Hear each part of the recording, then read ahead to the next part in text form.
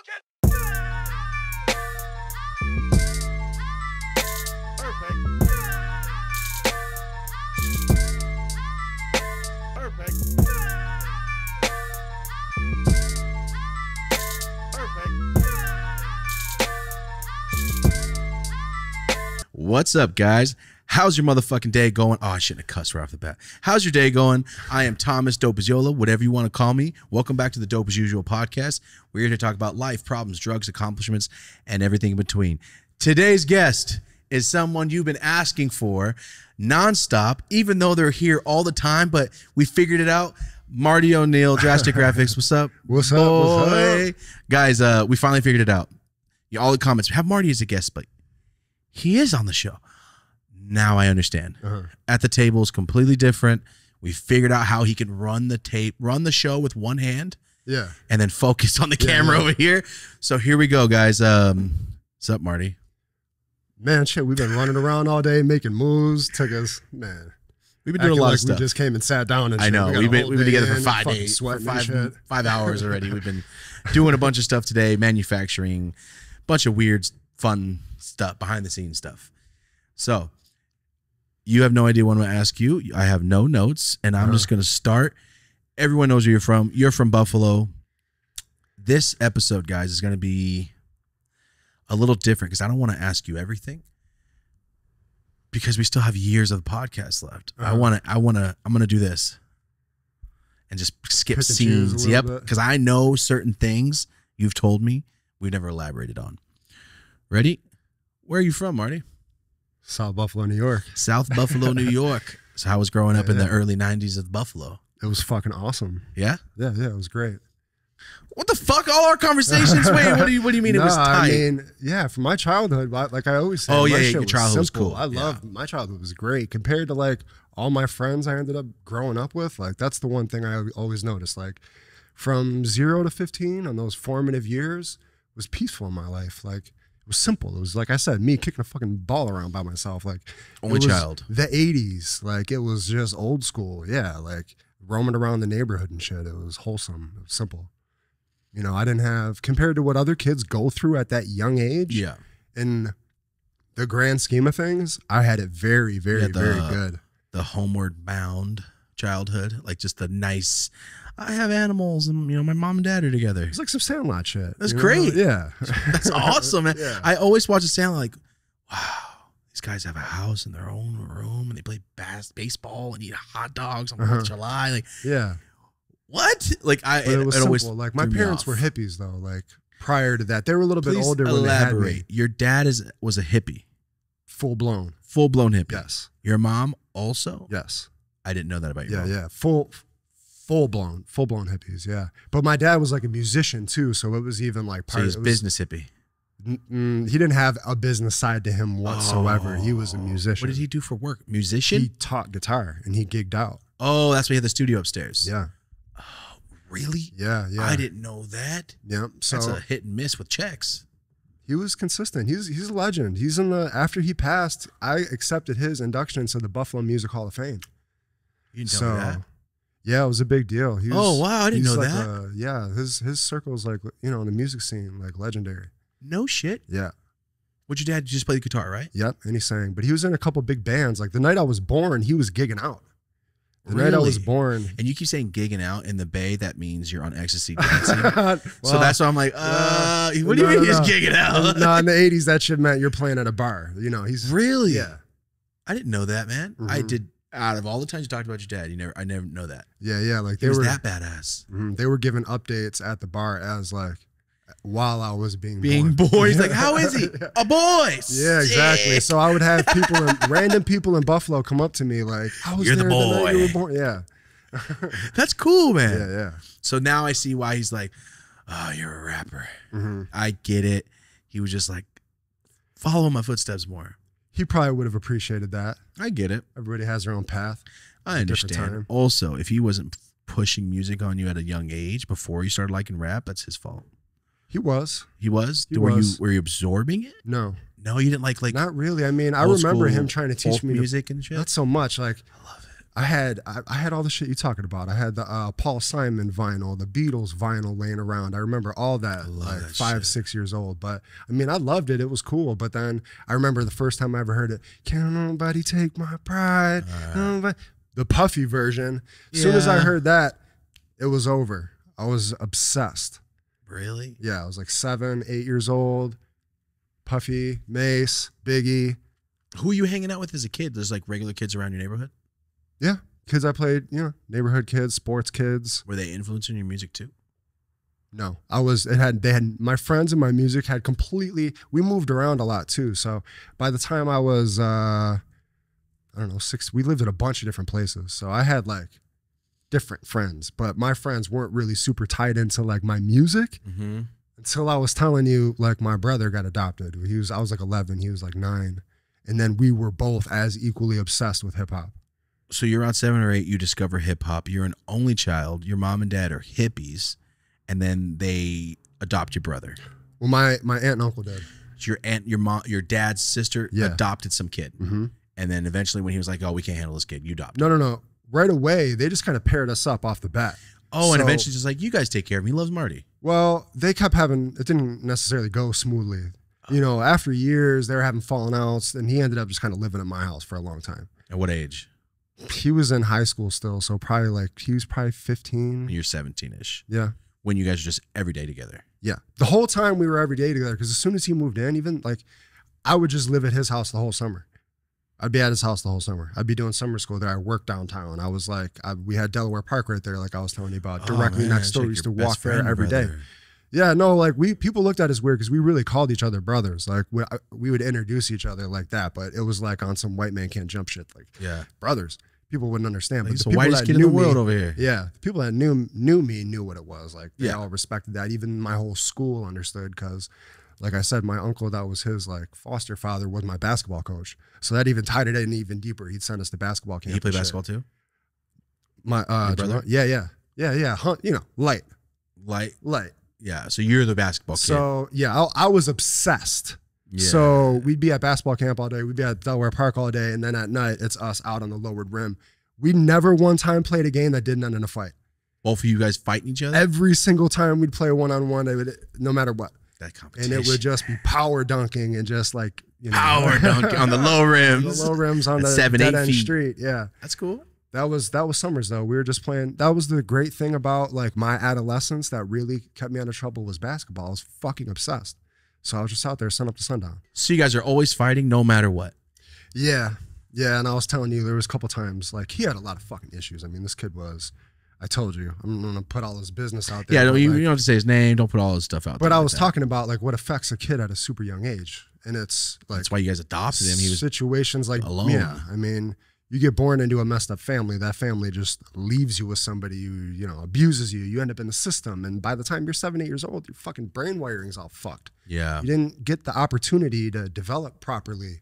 I, I was highly aware of that, how different we were, and like how just unfair it was to him. Because like we played basketball, he'd take off his shirts, he'd have fucking scars on his back and shit. Like mm. I could just, he was so young, and as the years went on, I could just just tell like how deep that pain is when your ma leaves you like that hmm and it would come out like as we'd get a little bit older sometimes he'd get drunk and shit and it would come out he'd start fucking talking about it but other than that he'd never talk about it Ugh. we just like joked it was like the honeydew we only Yeah, just made light of it. at everything Got it. Well, you said your dad's funeral, you guys were cracking jokes. but that's only because it's all we did I get it. I it get really was like that i mean especially in situations like that So your like- dad fucked with him too. yeah my dad actually liked him a lot you know like they weird- they related they related What yeah. a weird relationship. Just he's literally just getting passed to families. and So even while he was within while he like he was like being fostered he came in he's being fostered 9 10 11 he gets you know put into a different school all this like there was still times where he got kicked out and he went back in the system like when i was uh, when i was playing college basketball he got kicked out for like threatening my aunt or some shit went back in the system went to a house got kicked out of that house and then ended up deep on the fucking east side on glenwood and box or some shit Delavan over there. I remember going over there. I brought. I remember I brought him my Dreamcast. Going over there in the snow, him like he's not even supposed to be going running out, hopping in my car. Like it was fucking weird. He's living with a whole other family and shit. But And then he grew up with you. Now he's with another family. That's weird. because there's families that'll have foster kids just for the check. Just- So yeah, you yeah, have for some sure. elderly. Now you're just running the fucking east side on free roam, and it's fucking deadly over there. So he was over there, and then I mean that's where he was originally started at. Then he came back and he was like staying in my mom's basement for a long time, and we are you know, and, but then he started getting into robberies and shit, and yeah, I, I wasn't knowing about it until I saw him on the news. oh, whack. Yeah, so he started just like Oh, what a bummer. hanging out with some kids that I, I knew about, but I didn't know. I hung out with dudes that were doing shit, but they weren't fucking overt scumbags. These kids were fucking scumbags. But he felt like, because my aunt and uncle moved out to like the suburbs, like the legit suburbs. They built a house, moved away from Delaware Damn. Park, and now he's the only black kid out in a white neighborhood. And he like got found a couple other ghetto ass kids, and then they went ended up robbing a bank and robbing a couple other things they didn't get caught. for. That's why you said the day my brother got bank robbery charged. Mhm. That's the same brother. All of the stories you told me is the same guy. This is this is the only dude I grew up with like that. yeah. Shit. Yeah, so he ended up doing three years, and then And then while you're doing that, you're doing music and going to school. my yeah, that like when he went to prison, I had just met April. I was on my like, was at my biggest peak of like my music, my hottest fucking point. So when he really went into there. prison, you already had Yeah. that song on the radio and shit. yes, I was really really getting deep into it, and he was there with me every single step of the way. We were there. He was there from way before day one. all the shit I was writing about was it was like your uncle John. They're Like when you were telling that story, it was exactly like that. But I was older than him. Got you. You're You know. together all day. Yeah. Yeah. I mean, like we shared a bed. He slept on the floor. He slept like we slept in the attic together. When he'd get his bike stole, I was I'd fucking get it back for him. That type of shit. Damn. I, I, I totally understand the relationship now. Yeah. So you he goes to prison, you get out, you already have a baby? Uh-huh. When he went in. When he went in, it was looking like I was going to be the one going in, just based on where I was at in life at Oh, you're that just point. doing stupid shit. I was on some just get rich or die trying. I, I was just on some like it's gonna take. I don't know like what it's gonna take to make it, but I'm willing to do whatever the fuck it takes at this point. I was at a real fork, really at that juncture in my life. Like no, you know, undeniably, me and him were not. Me, I never. I was always a positive role model in his life. I always looked at myself as a positive role model for him and like his bigger brother. Mhm. But he knew what I was. I was get wrapped up in all kinds of shit outside of my life with him too especially when I started really going ham with the music. And then when he went down, like my dad was dying. We thought he was gonna die at that point. It was one of those times. I thought Jamel was gonna go for like 15 years. Ugh. And it was just like, it was so fucking horrible. It was really, really, really horrible. Cause there was like, he sat downtown for a year before we even knew it was gonna happen. And then they sentenced him. Luckily, he was under 18, Oh, so they, they didn't but they weren't adult. going to. They no, Oh, they, were trying to try him yes. as adult. my uncle pulled strings and because he's like Finesse that that. and finesse that shit. Good. But I mean, it was fucking horrible. But while he was in there, by the time he when he went in, I was fucking just like out there basically. I didn't have I only had like potential going on, but it didn't look great. I just graduated high school. I mean, I had a job and shit, but I was doing shit that definitely could have got me arrested on the regular. And then um by the time he came out, I had the 300C. I had a house. I had a kid. That's that era. I had threw him a fucking the iPod Touch when he came out. He didn't know what the fuck it was. That and it was like that. And we were hanging out at my house, Nice. and we had about a year where it was awesome. He's back in the studio with me every day. Now I'm almost I'm getting like record deals and shit now. I'm making a real push now. It's no Yeah. longer like I'm out of I'm networking outside of Buffalo now when he gets back. The the songs I had a stretch where I was going into the studio and every time it was for an executive. Nice. Meaning I'm going back and forth with these fucking fools and they're saying, just give me this, just give me that, just give me this, just give me that. And he was there for every session. Like if you follow Griselda, all those studios you see them in the now, same ones you were in, right? A lot of them, yeah. Yeah, you always tell like it's crazy seeing these Griselda posts, man. Like that's the studio I was recording in. Yeah. Because I know when I first brought up Griselda, you go, from Buffalo, Griselda? I go, they're hard. He goes, yeah, but they're real gangsters. He's like, I didn't want to chill there no more because I was like, oh, these fools are on some serious shit. I'm out. Well, if you're if you know Buffalo, what I'm about to say is some legendary shit. There was a time I, I've been in every studio in Buffalo. Anybody who was doing music in Buffalo at that time, I had networked with at some point. I sat with DJ Shay in the Buff City Records, and he sat there and listened to my music and was talking about my beats. And you know, he just passed away. He was the That's the guy you're talking to me about. biggest DJ in Buffalo. He's the conduit to a lot COVID, of this. right? Yeah, as far as I think so. I'm not ah. sure, but I think so. He's responsible for a lot of this stuff that you see, this legendary shit, this never before seen shit coming out of Buffalo that might not seem big to people, but it inspires a whole goddamn city. Yeah, it was a small city. When well, not even a small city, like a poor city. When you have a poor small city that doesn't have a lot of jobs and opportunity, and you have a big sports team like Cleveland when LeBron's there, like Pittsburgh when the Steelers are winning the Super Bowl, it makes the vibe of the city different because it gives hope, it gives That's true. pride.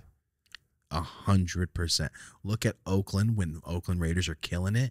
Everyone's outside fucking what's up? Mhm. Everyone's like, yeah, there's life here. Like Yeah, it- it's yeah. different. Everybody has a little more pep and shit. Like Yeah. the old jackets come out, Mhm. the starter jacket. Yeah. It's just uh yeah, it's the pride thing. When I was there, it was the opposite of that. It was like the like reverse of like, oh, everything's oh, oh, we always fucking lose. Everything's oh, oh, this Uh. it's always gray clouds out. It's uh, it was like it felt like that more. That's Buffalo? That's what it was when I was. I mean, because even if you grow up in LA and you grew up in the worst part of LA, you can even you can always look and be like, this person did it, that person did it. Yeah, over there's, There's not so I can ten minutes from here, you're like Yeah. that had never. We had Rick James. Like there was nobody. There was no and there's no direct opportunity, and a lot of it was pre-internet or before I was. You're able to really like establish connections. Well, that's why kids look up at trap trap stars. Mhm. Like, well, he's making it. He's got a fucking brand new S S class. He's I'm got broke a as fuck. house. Yeah, I'm he's struggling. not struggling. And of course, you're gonna look at that guy. Oh, he's got a super pretty girl with him. Oh, all the other girl. It's the most tempting thing ever. Like, what does he do? Just selling stuff. That's it. And then you get into like, oh, he's pop fools. He's robbing people. Oh, oh, Everything that comes with that. Everything that you can't sell coke without shooting somebody. Mm-hmm. It just doesn't work unless you're you're a high end dude in L.A. selling sacks to these people at fucking nightclubs. Mhm. It doesn't work. You have to be willing to pop. Made me think of the dude, uh, the the Colombian dude in Paid in Full when you said that. Or, uh uh Lu- Lulu. yeah, yeah. Lulu. Yeah. See this? Even Lulu got it though. Yeah. He knows what's up too. He even got popped Mhm. in that nice ass apartment building. Mhm. Great movie. Watch Paid in Full. Sorry, DJ Shay. Let's go back. First time in existence, I remembered what we were talking about. Yeah. back. You said I was about to say some legendary shit. DJ Shay, Mm-hmm. go. Yeah, I mean, I sat with him. We listened to my music, all that, and even in that moment, that was like, oh man, I, I could do the math on it. It was like probably 2005, 2006. I was aware of like Benny back then. He had already been out. He had been. He was 'Cause When I brought him up, you said, "Oh, these guys been around." Yeah, Yeah, you told me. Yeah. put me That's the important everything. part to it because it's not like they just popped off. There's years of real work, and they did it independently. Granted, they became well known when they signed with Eminem and Jay Z and all this other shit, but that is an independent record label that came deep out of the streets and is flooding the mainstream right now, and they're keeping it pretty, I mean, super authentic to their own sound. That's what I love about it too, is they have their own sound. You could be like, oh, it sounds like Wu Tang. That's kind of a really super generalized statement because it think so. sounds like Griselda. They have their own. I don't think they sound like anybody else I heard. Mhm. I mean, yeah, it's the East Coast. I hear that in a Uh-huh. lot of people, but that's the accent. We're not looking for the accent. It's That's the, authenticity. it's the sound. Like, yeah. like I told you, I go, I don't know who these guys are, but you ever heard of? Gris-" And you go, "Y- y- from Buffalo. Uh huh. I don't fucking know. Yeah. Yeah, when I first I heard, it, I go, who the fuck is this? Mhm. Like I said, gangst gangster ass lyrics, but are good. Jack of shit. I'm all over Yeah. it. I'm all over it, man. I loved it. That shit gets me fired up. I know. Every time you pull up, I'm like, yo, Marty's in that crazy mood. What's bumping right? Every time, and it opens the doors. I'll fucking shoot you. oh shit! Every time, I can hear you. Uh-huh. Every time. That's hilarious. Um, so you're in Buffalo. You come out, or your brother gets out of jail. You have one year of everything going good. All your shit's happening, and then you don't have to get into it, but you guys had a falling out. yeah, yeah. So it was when I got my record deal with DJ Skee. So I was using this service called Blaze Track. It's still around, but it's different now. It's owned by different people than originally. And Blaze Track was the first really let me make connections. It said put together a press kit, you pay for the credits, and you send it directly to the record exec, and they give you a video response to your thing. So that was my shit. I made hundreds of submissions. I spent thousands of dollars on Blaze Track, but it, it paid off in the sense that Blaze Track noticed. Blaze Track made me a Blaze Track Pro eventually. I've spun the tables around, and I ended up getting this. I, I kind of became like the poster boy for Blaze Track with this deal I got with DJ Skee. Wow. And then that, so when that happened, I remember it was me, Jamal, and my boy Malachi. Malachi had gotten his apartment. Malachi, we were talking about the cultures and like in, in Lackawanna and shit where I'm from. You got the Lebanese community, you got your white people, you got your black people, you got your Puerto Ricans. So Malachi was um, Yemen, half Yemenese, but wild boy, like wild. But I knew him since he was super young. When Jamal went to jail, I bumped into him, and he's like, basically like, bro, let me like, I want to do music. Like, and me and him just like while Jamal was in prison, me and him, he became like Jamal. So when Jamal came out of prison, it was the three of us. Got you. I had I had known him since he was a kid. We had played basketball in Beth Park for years. I did like his, you know, I knew Malachi and I respected his passion. He came from fucked up circumstances too. Parents selling drugs, growing up, him being involved, all that type of shit. Robberies, all that type of shit.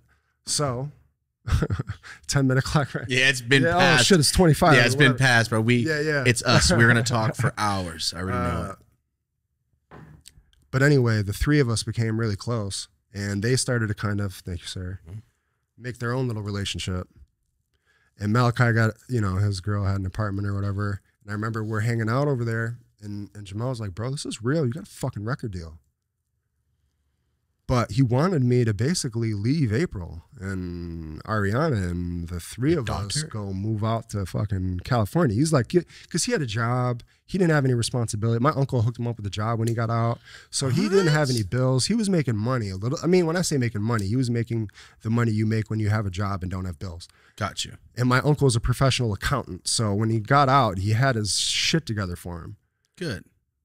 She But- wanted you to leave April but- and your baby, Basically, just so you guys can go pursue the music. yeah. On some, no. you know, and I Fuck mean, no. So that's what I said. And he he got real fucking offended because he didn't like, you know, mind you, I had just gotten married. He's my best man. Both these fools are my best men at my wedding. Uh, you know, He was out for you to get married. Mm mhm. Oh, he okay. was my best man. Yeah, and uh, Sorry. Yeah, so Hmm. is out of that pouch you got? No, I got different weed. That's Mm, different weed. yeah. Sorry for the delay. Marty's literally staring at his joint. What is this? no, it's fire. Uh, he was your best yeah, man. Yeah. You got anyway, offended so there was that? no there was no tension. He didn't. Him and like April got along. There was nothing weird. Something weird happened in his mind where he really started resenting me, like having a family. Like I can't just effortlessly smoke blunts all throughout the house like one might. I can't just go to California like one might. And he starts like Oh, I looking at me see. like this motherfucker's you know like. Meanwhile, fuck out of here. This is my goddamn life. and your child. And I'm on it, by the way. I'm the only one with this shit going on. Let's not like I'm at this. I'm the only one at the steering wheel of this operation. These fools are tagging along. But it's your brother, so you're gonna bring him along forever. I get it. I get it. He's at every studio session. He's at he's at everything. So I remember we were hanging out one time during this like little period. It was the first time I ever listened to a podcast with him. I put on Rogan and Diaz while we were playing uh we were playing like 2K or live or whatever. And we were playing and it was all good. And then like April came home. It was late. And he started acting real fucking weird on some Nah, I'm, I got something to tell you, but I'm, I'm not gonna tell you. Nah, nah, nah, nah, nah. Don't even worry about it. He started doing that type of shit To you or her? to both of us. Like, I got something to tell you about her. blah, blah, blah. What? Just like started acting real weird out of fucking nowhere. And I was like, "This is the last time I ever saw him." No, yeah, this is the last time I ever saw him. Your brother? Yeah. So I was like, and I and he's like, he gets up to leave, and I like slap him up. I'm like, "What the fuck's wrong with you? You're acting real fucking weird." He's like, "Nah, nah, nah, nah, nah," and he just left. And uh, it like we but we had like a it was like a falling out as he, like it was went from us just chilling to us having a weird falling out and him leaving in real quick like It's the last time you saw your brother. yeah so what the fuck? i mean it goes on so like and it's weird i know it sounds weird but that's literally what happened so he he basically like starts spreading all these like really really like horrific rumors i guess you would say but within my like family just shit that's like not Not you guys? yeah just not even like out of not even Maybe fucking just true He's like, He's- yo, the only person that's with me now has a family that I never had, and now he's gone. he forever. doesn't You got to think from none him. of my friends even know what a functional family looks like I get it, but from his perspective, he just got out of prison. He's never had a family. You're the only family he Yeah. knows, and now your family has a family, and now he's secondary to that. yeah for sure He just got upset. I get Yeah. it. He, remember, he's probably still younger And in his head. Yeah, He's I mean, he's still uh, he's probably twenties, fresh out of prison. He was in grown man's prison. Yeah, fresh out of prison. what bro. happened in there. All we ever did was really joke about it, but it started to get really tense, and we were on bad terms for like a week. We didn't see each other. We didn't really talk. It was How tense. was that happen that fast? Yeah, but then my daughter's birthday party came rolling around. First birthday. Fourth birthday. Oh, that's right. He was in jail for three years. Okay. She's turning four. She calls him Uncle Mel, like this is her uncle. I go to Walmart to get the birthday cake, some other shit that we need. Walmart's like 10 minutes away. When I get to Walmart, I get a call from April. Yo, Jamal and Malachi just showed up here. I'm like, why the fuck? I call Jamal, no answer. I call Malachi. I'm like, I don't know what the fuck you boys are doing there. But we haven't even talked. Like, obvious. It was to the point that I was like, obviously, don't come to this fucking party right now. We there was like big tension. We need to fucking talk. Don't be there when I come back. I'm coming back right now. Hung up. When I get back there from Walmart 10 minutes later, I'm like getting the cake and cashing out, and then I leave and I fly home. The cops are there. The cops are at your house. Yes. The birthday party. Yes. And this is in the suburbs. We had moved Oh, out. they got there fast then. they got there fast as fuck. they got there fast. I like, Because they got there in 10 I told you we moved to New Jersey. We moved back to New Jersey. We lived in my mom's house for a while, and then we moved out for a year to a nice house on the lake. And that's where you were. That's where we were. Cops showed up. Yes. And because he had this whole fucking big meltdown, he's pouring beers over everybody's face, having a fuck threatening all my girls at the party. And sh- this is a four year old's birthday party. He just came in and fucking like blew the party up basically to the point that the Someone neighbors or somebody called the cops. cops on him and then got the fuck out before I even got back. That's fucked up. And then after that happened, that caused the whole ripple effect of issues within my family. And then super high tension in the air to the point that it was fucking super high tension in the air for up until basically me moving to California. Bro, you just said super high tension in the air to the point where it was super high tension in the air. You're high as fuck right now. Try to emphasize. I get it. So you guys are basically like, so one of us got to kill each other. That's how I could, I just knew he was fucking crazy basically at that yeah, time. he's your brother. You know what he's capable of. Yeah. Yeah, and he's more mad at you and you're his brother. Yeah. I'm mad in the sense of like, this motherfucker, how dare you? Are you like, no? Of all days, and and my other boys wra- wrapped up on his side of the shit too. Malachi guy. Yeah. So and like I said, I was already falling back from all my friends at that point. I was getting deep into Rogan. I was getting really serious about music to the point that I didn't want to be helping out a bunch of other people with it. I was focused on myself. I wasn't bringing a thousand people to the studio. I wasn't. Tr- You were pushing- growing up. yeah, I was growing up. I had a family. Yeah. You have a fucking kid and a I- wife. bro. yeah, exactly. You, you, yeah. You have four friends at that point. Yeah. You dial it back by 90%. hmm Yeah, I, I can hang out with three people. It went, yeah, but at that, I mean, that was my closest inner circle. Uh, and it just, it kind of put me in a dark place for a while. It fucking, it really did. But at the same time, You're It- saying like in terms of with him. oh, for sure, with Because you, him. because you moved away how much, how long after? So Birthday party, beer pouring on people. imagine this birthday party is, her birthday is June 25th. I fly out to California for the first time September 11th. So I flew out to California for the first time two months after this happened. You guys haven't talked after that? No. Just tension in the air.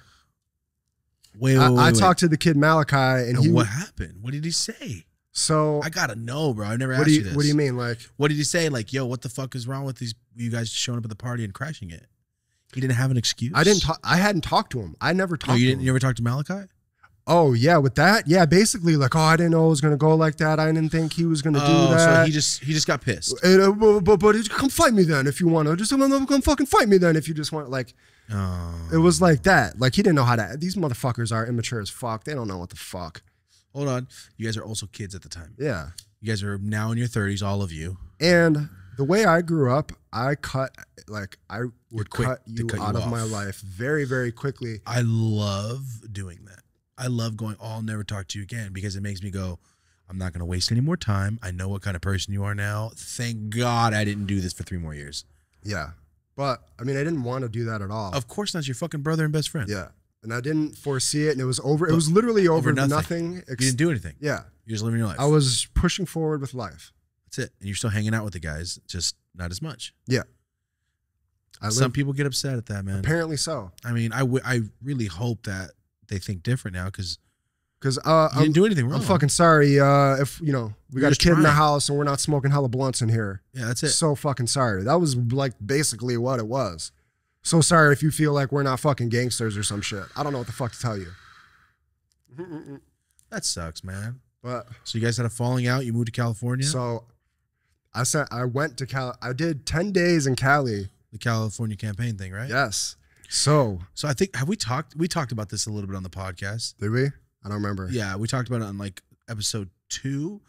So the quick version Shit was epic. You went to California because you were meeting DJ. It Skee. relates to our last episode. So we remember Goofy from the fucking last episode we did, right? Yeah, the All guy right. Goofy that stole Yes. the weed He stole the weed. Yeah. When he stole that weed, he came out to the West Coast and linked you. and linked me inadvertently. Yeah, the next call I got with him, he's all fucking goofy. I hadn't talked to him. He's leaving me voicemails, blowing me up. It's all fucking good.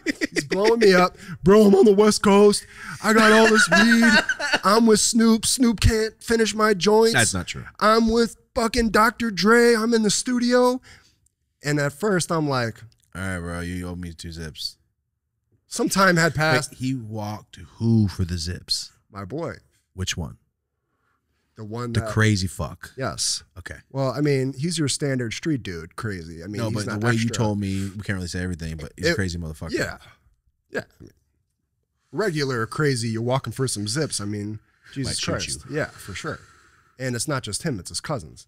Oh, Anyway, I end up getting back on the phone with this kid, and it was all fucking goofy ass nonsense. But he did end up linking me with a kid who worked at Interscope Records, who legitimately was Dr. Dre's intern. So I made that connection through that, and then cut Goofy the fuck back off again forever. yeah. So thanks, man. Thanks for those two zips I paid for you. We're this is even. repaying. This is repaying me. We're even. So uh stayed in touch with him for a while. Like you said earlier, people with music, I'm fucking pitching myself to this kid. He's younger than me. He's from Texas. He's interning out there. I'm getting him on the phone. He's answering. I'm just going in on him, rapping at him and shit. On the phone. Yes. Oh shit, Marty. so then uh you were the, guy with the oversized pants, pulling mixtapes out the oversized pants. Yeah. yeah. yeah. yeah. No, thirty. Yeah, if it's thirty wide, Uh-huh. big pants. Uh, so I signed a deal with DJ Skee. My boys had to like a lot of a lot of my boys in Lackawanna threw a little like concert right before I left inadvertently, and it felt like a going away, Away party, party. kind of. It felt like a college reunion. Like everybody in the town knew what was going on. They're all patting me on the fucking back and shit. I was like, okay, it's Your happening. brother's not there. no, no, me and him are just at odds over fucking Oh nothing. Oh man, that's such a sad fucking. He would have been too. of course, and that'd be the most ult, the ultimate like yeah. That was like I was saying the only. So you celebrated by yourself in your head, basically. I mean, it's me and April. We're a team at this point. I'm talking about with your homies that were there before.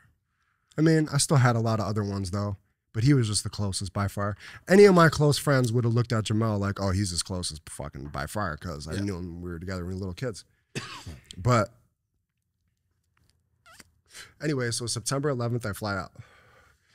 And now, mind you, I'm staying with this kid, Chris. This is a funny story in and of itself. First, my 10 day stint out here in LA. I've never been out here before. I fly out September 11th. I land. He had gotten funny prior. Bro, I don't know if you're going to be able to, the, the landlord this. He'd start, you know, just throwing me off my goddamn game a little bit. I'm like, fuck that. I'm coming. Be there, bitch. Period. Yeah. So he, we did. We got there. He's cool. He picks me up. His girl's with him. Now his girl right away, I can tell she's weird. She starts right away going in with the, "Oh, you're from Buffalo. You must know all about the mafia and all about the Illuminati and all." What? the-" yeah, like The fuck does I that know. mean? You- Well, like you're from Merced. You know how to cook crack, right? I don't know a goddamn Nah, thing about it. I mean, I'm aware that that's a thing, but I'm not. I don't know. I don't fucking know anything about. You the- must know about She the mafia. going down this whole conspiracy theory route. As we're driving in from LAX, meanwhile, Oh man, you got a jersey on. Listen to conspiracy theories. And fuck, I'm like bitch. looking around at LA for the first time, like, oh my God. And I, this is No real. snow. I'm here. She's like yapping. And then I'm seeing, I remember there's like a fire off in the distance. I'm like, bro, there's a fucking fire going on over there. Yeah. Yeah, no, it's normal. There's just smoke billowing over the hills. It's fine. That's a trip though. You coming out here to meet DJ Skee, to meet all these people and going, This is my first eyes on California. Yeah, it was surreal. So when you I had- flew in, I know you were staring out the window. You were that guy. Oh, I was on a goddamn mission. Oh my God. I, I oh, missed, I almost Oh, missed those days because I was just, when you're all potential, you're like, I got nothing but a shit ton of potential and hard work. Like, I'm, That's you right now. You know that, Yeah. right? Nothing's changed, motherfucker. Everything you kept saying, like, you mean this morning? that's funny. Just But- different field? so just this this little chapter is funny. So we start. He's driving me around now. He starts dropping this bitch. So he he drops her off at. We go to Bel Air. The first place we go is Bel Air. Damn. Okay. I'm like, Fresh Prince is my reference. I already knew it. He drops her off. He's like, oh, she's a homeopathic uh, healer. She gets out. There's this giant, massive gate. She whatever. We go down, and now we go to eat in West Hollywood. I don't know what West Hollywood is. The waiter walks up to us without a shirt on. Oh, you went to Boys Town. I don't fucking. I Yeah, guess it's so. West Hollywood's like a like there's like a gay area. I told you I went with my uncle. Uh, uh, yeah, It's yeah, yeah. wild. Uh-huh. It was fun, but it was wild. So like we ate there, then we went and picked her back up, and then we like went and dropped her off at another place, like another appointment. So she's a hooker. Come to find out, I'm not even sure if this fucking fool's aware of this or not. She's a Uh, She's a, hooker. yeah, this bitch. So yes, His girlfriend. yes. He doesn't realize. I don't- I don't think he does. Fucking hooker. I don't think he does. He thinks she's his, just like her his girlfriend. homeopathic healer. Did she bring a bag? Does she bring tools? a table? I don't. Anything? there was no fucking folding table with her. We were in a Challenger. The First thing you do Uh huh. is go on a hoe run Yes, in California. like a GTA mission. Love it. I love it. Drop the hoe off to get to your next rap battle. That's you. So then on the way home, we pick up her friend, and this bitch is this bitch is overtly like I can tell something's wrong with this bit. This bitch next to me now. So we drive back. Now we they're in Burbank. How old are you? Twenty three or 24, 25 maybe. I don't Oh God, remember what year it was. Dragged around LA. It was fine. It was amazing. I was in awe. I'm just saying, with the hookers in your yes, car. I didn't realize at first. This that didn't goofy dawn on me until really afterwards. goofy. For not understanding, he's But this uh, this is this isn't goofy at this. This is I mean he is this kid Chris is goofy as fucking shit oh, that's too. what you meant. It was that guy. No, but the, no, no, no. This is the dude. This is my referral from Goofy One to Goofy Two. here. Okay. Uh, so and by the so Chris is fucking goofy in a different way. In like he's In a goofy, good way. fucking like in a nice way. Yeah. Uh, Being goofy is cool. Being uh, Yes, exactly. different. Yes. it's so subtle. Yeah. So Chris graduated from college. He's out there working at Interscope. Yeah. You know. Oh, he's the Interscope guy. Yes. He doesn't realize she's a hooker. Okay, so you pick up the second Chris one. is probably weird. 19, 20 years old. We pick up her friend. The friend is a little bit older. The friend might be fucking 40 for all I can tell. Okay. We get back, they live in Burbank. And this, like, I get there and I realize it's a house, but there's like eight people living in this house and they're all 20 and they're all actors and they all pay for a room. So they're from all over the world, It's basically. dirty. Yeah. Yeah. Yeah. there's that. So I'm starting to piece all this together. I wasn't given the rundown on the whole situation. That's where you I were got there. staying? Yes. So You stay on the floor of one of these rooms. Woo! I know exactly where you slept. I've been there. so we sit down on the couch and the and her friend starts going, uh, you know, I'm in, I'm in like the entertainment business. Like, what are you you're here for music? Oh, I cool." entertain dicks is what she should have So- said. so she goes a couple times throughout the night she had been like oh man maybe you should give me some music for our like projects we're working on all this shit now we're at the house they're all doing bong rips and getting comfortable and shit Cool. this bitch goes i produce veggie porn She sticks vegetables. porn that features vegetables Wait, like vegetables banging, or she bangs herself with vegetables? i didn't I- ask there's, you should have asked. oh like like, I, like you should have really asked. Like, yo, are you trying to tell me that you make vegetables have sex with each other? are you like, breeding like Like, are you are you just slapping toys together like kids, or are you having as- sex with as soon cucumbers? as she said that chris's roommate goes do you know what the fuck he's here out you know what the fuck he's here for this kid's got a record deal he's not doing your porno shit are you fucking kidding Yes. me? The forty year old lady. yes he said that to her Oh, that's mean, Oh, That's but mean. i was like in shock and awe but in my mind i'm like thank hey, Kid Buffalo. Oh, I do veggie porn. Marty just, oh my fucking god, take me back to Kid Buffalo. So far, this holistic I thought it healers, was fucking veggie hilarious. porn, and a charger. yep so i went to bed after that so that was Right after like- that? i went to bed after that Wait, you're all in the same room though. No it's Did a house Turn her over. we were in the living room so i Oh. just slept in the floor of one of the bedrooms okay, got you. so we So, so he scolded that woman. his Chris's roommate did. Now they're showing me commercials, like they literally show me a Nike commercial. They're all playing basketball and shit. But that's me. That's me, real quick, like flash across Oh, the screen. That's what this house is. yes, Mm. I always found that kind of like sad. I always felt a little bad for those because It they really sad. want it. Because the one couple in there was like screaming at each other the whole time. One of those. They were all scared of the landlord. They're all scared of the cops of the weed. They were acting like weed was illegal, which was weird. But uh, anyway, so I wake up the next day. All right. We start driving through. We start driving to LAX because he's got to take his girl and drop her off. She's going to Utah or something. I remember she's going to Utah. So he's taking her to LAX, but they're fighting. The whole time. The, the hooker. Yeah, um, his, yeah, his The girlfriend. hooker. Okay. So we're driving through Hollywood, and we're with his this kid uh, Scott, that is Chris's friend. Scott's chill, kind of hippie dude, and we're just driving through Hollywood. And they start, and then they, somebody from the Skee Lodge calls me and goes, "Skee's about to leave. You're not even gonna get them fucking meet him. He's about to fly out. He's going to Toronto."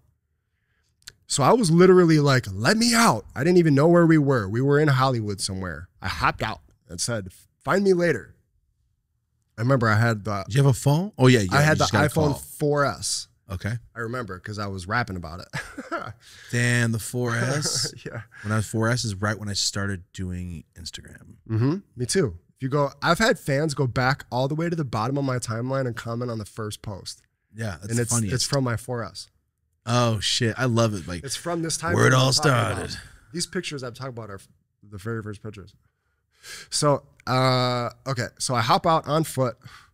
Scott's had lived in Hollywood. He helps me find the Skee Lodge. We we're within walking distance from where we hopped out at. I get up. I now What are the odds of that? very rare, small odds. It wasn't In even all LA, that you hop out, you just get there like a fucking sitcom. it worked out to the point that we walked up to the door, but now I had Scott with me, which I wasn't thrilled about. I don't even know this dude. I've been Would've made him wait going through so much shit. So, but it ended up working out good.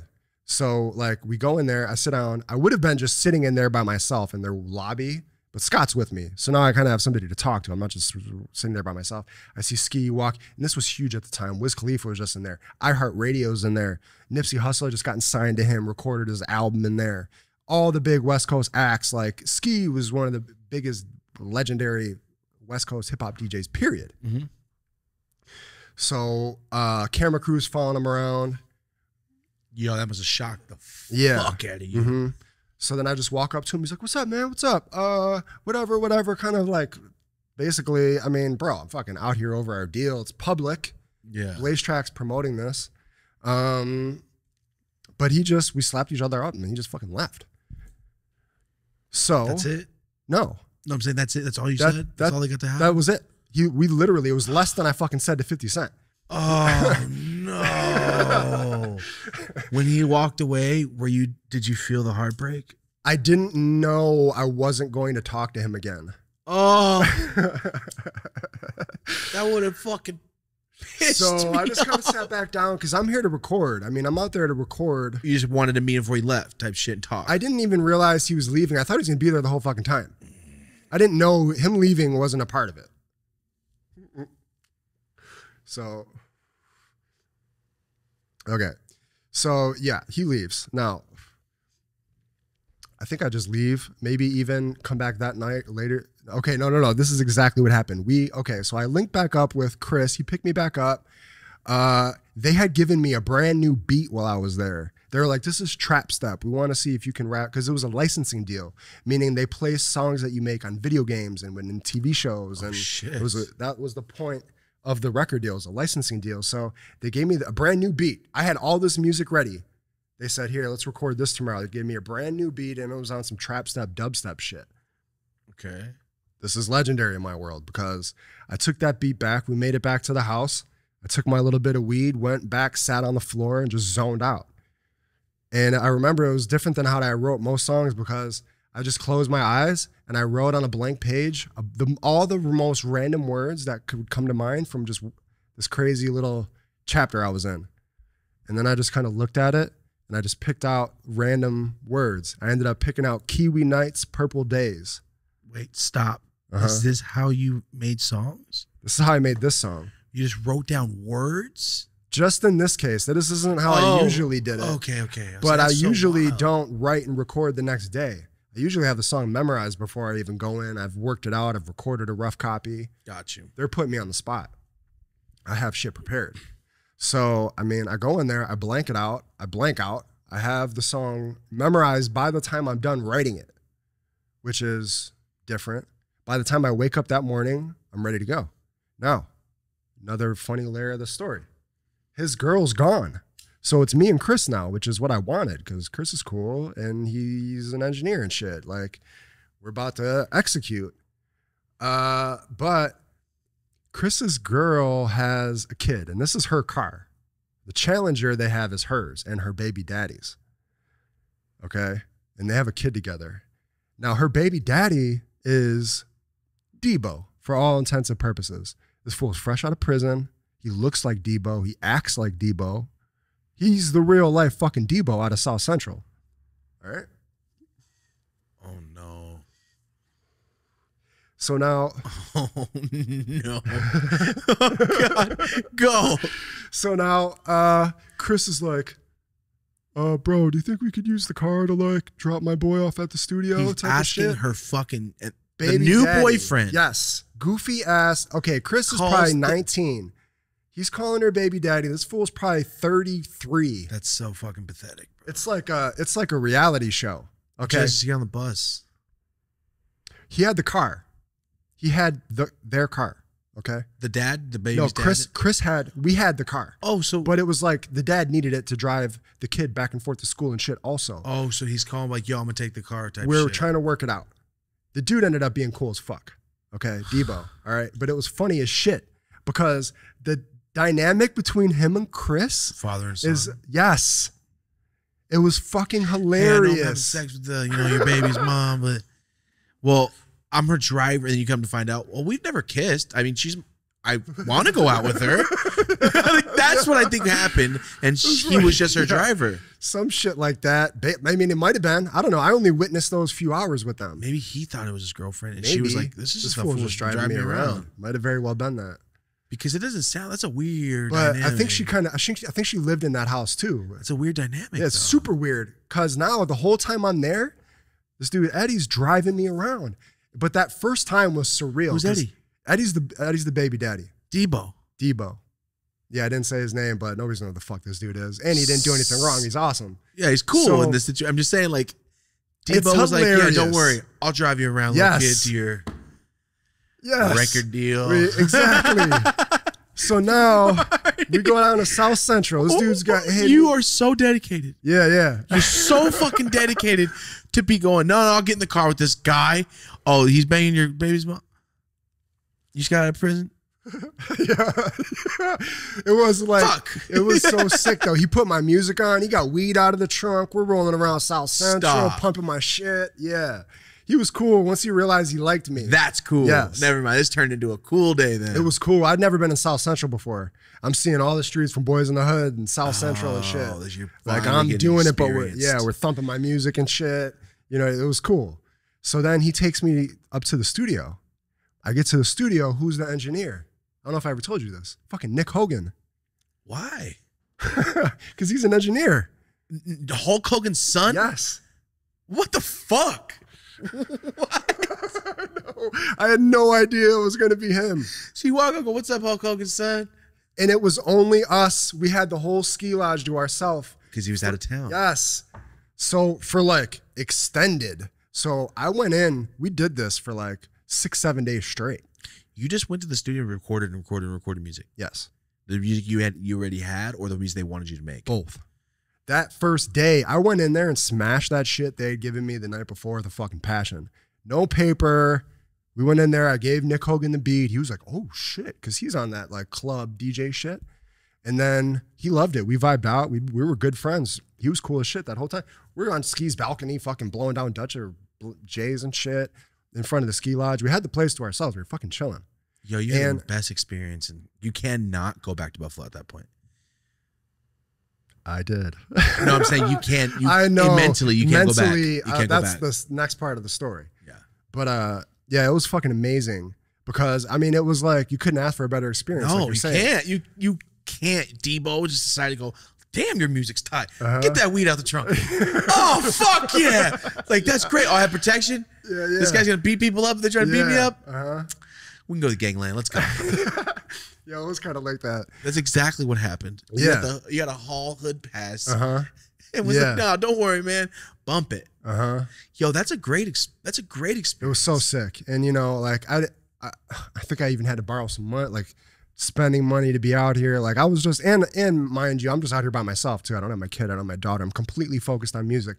For people, creatives like that, anytime where you like travel somewhere for the purpose of creating, and you're locked out and you don't have any other responsibilities, that's like a special moment. Especially in music, it's more, Hundred percent. it's most, and most, Most people that are doing things that cause you to create. yeah, Like if there's a block on your head when you're doing shit in your normal life. When you get out of your normal routine, it's like that's why I really fuck with the Rick Rubin the way he does a lot of Yes. stuff. Everyone's Mhm, I just isolated. yeah, Like no, no, you're an artist. hmm Put your phone down. yeah, yeah, yeah, exactly. Like shut the fuck up and Mhm. work. I Yeah. love it, dude. It's Yeah. just it's like a think tank. Mhm. But you're by yourself. Yeah, but it was all for something because prior to that, I'd been a studio rat my whole life. I lived in the studio for years prior to that. Even as a little kid, I grew up in the studio. Yeah, because you're dead. Yeah. But now it was for something, and it was in Cali, and it wasn't us in a closet on the in His Hulk Hogan's Buffalo. son just And like, Nick Hogan's at all the right, boards. what the yeah. fuck? All right, let's smoke Yeah, blunt. yeah. So and everybody's got weed. Everybody's got weed in their little jars and shit. I had never seen weed in prescription bottles. I would say prescription pop Yeah, tops. yeah. That's what everyone had their And weed when in. the first weed we got, that first night I got here, his girl ran in, got the weed, came out. She's like, "It's Dr. Dre OG." I was like, "Oh shit," because I was on a mission to meet. I was on a mission to get a Dr. Dre record deal. yeah. Uh, so we were we were talking about that. But anyway, yeah, I did ten days and then I went the fuck back to Buffalo. So when you went back to Buffalo, getting on that plane until you landed, you still had that motivation. When you land, you go, "Oh, Yeah.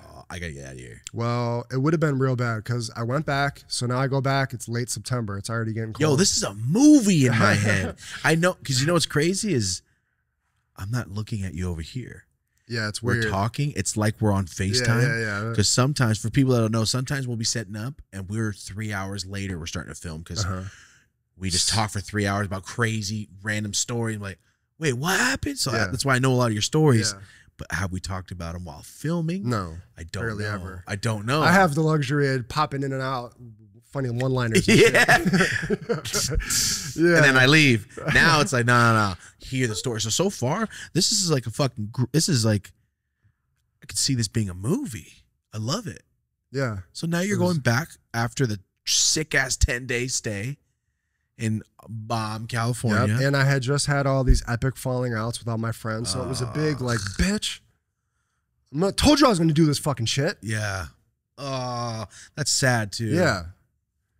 You know, I didn't, I'm not going to come out here and stand on Hollywood Boulevard with my fucking mixtapes. Nah, bitch. I did it the right way. It took Yeah. uh, two months fucking longer.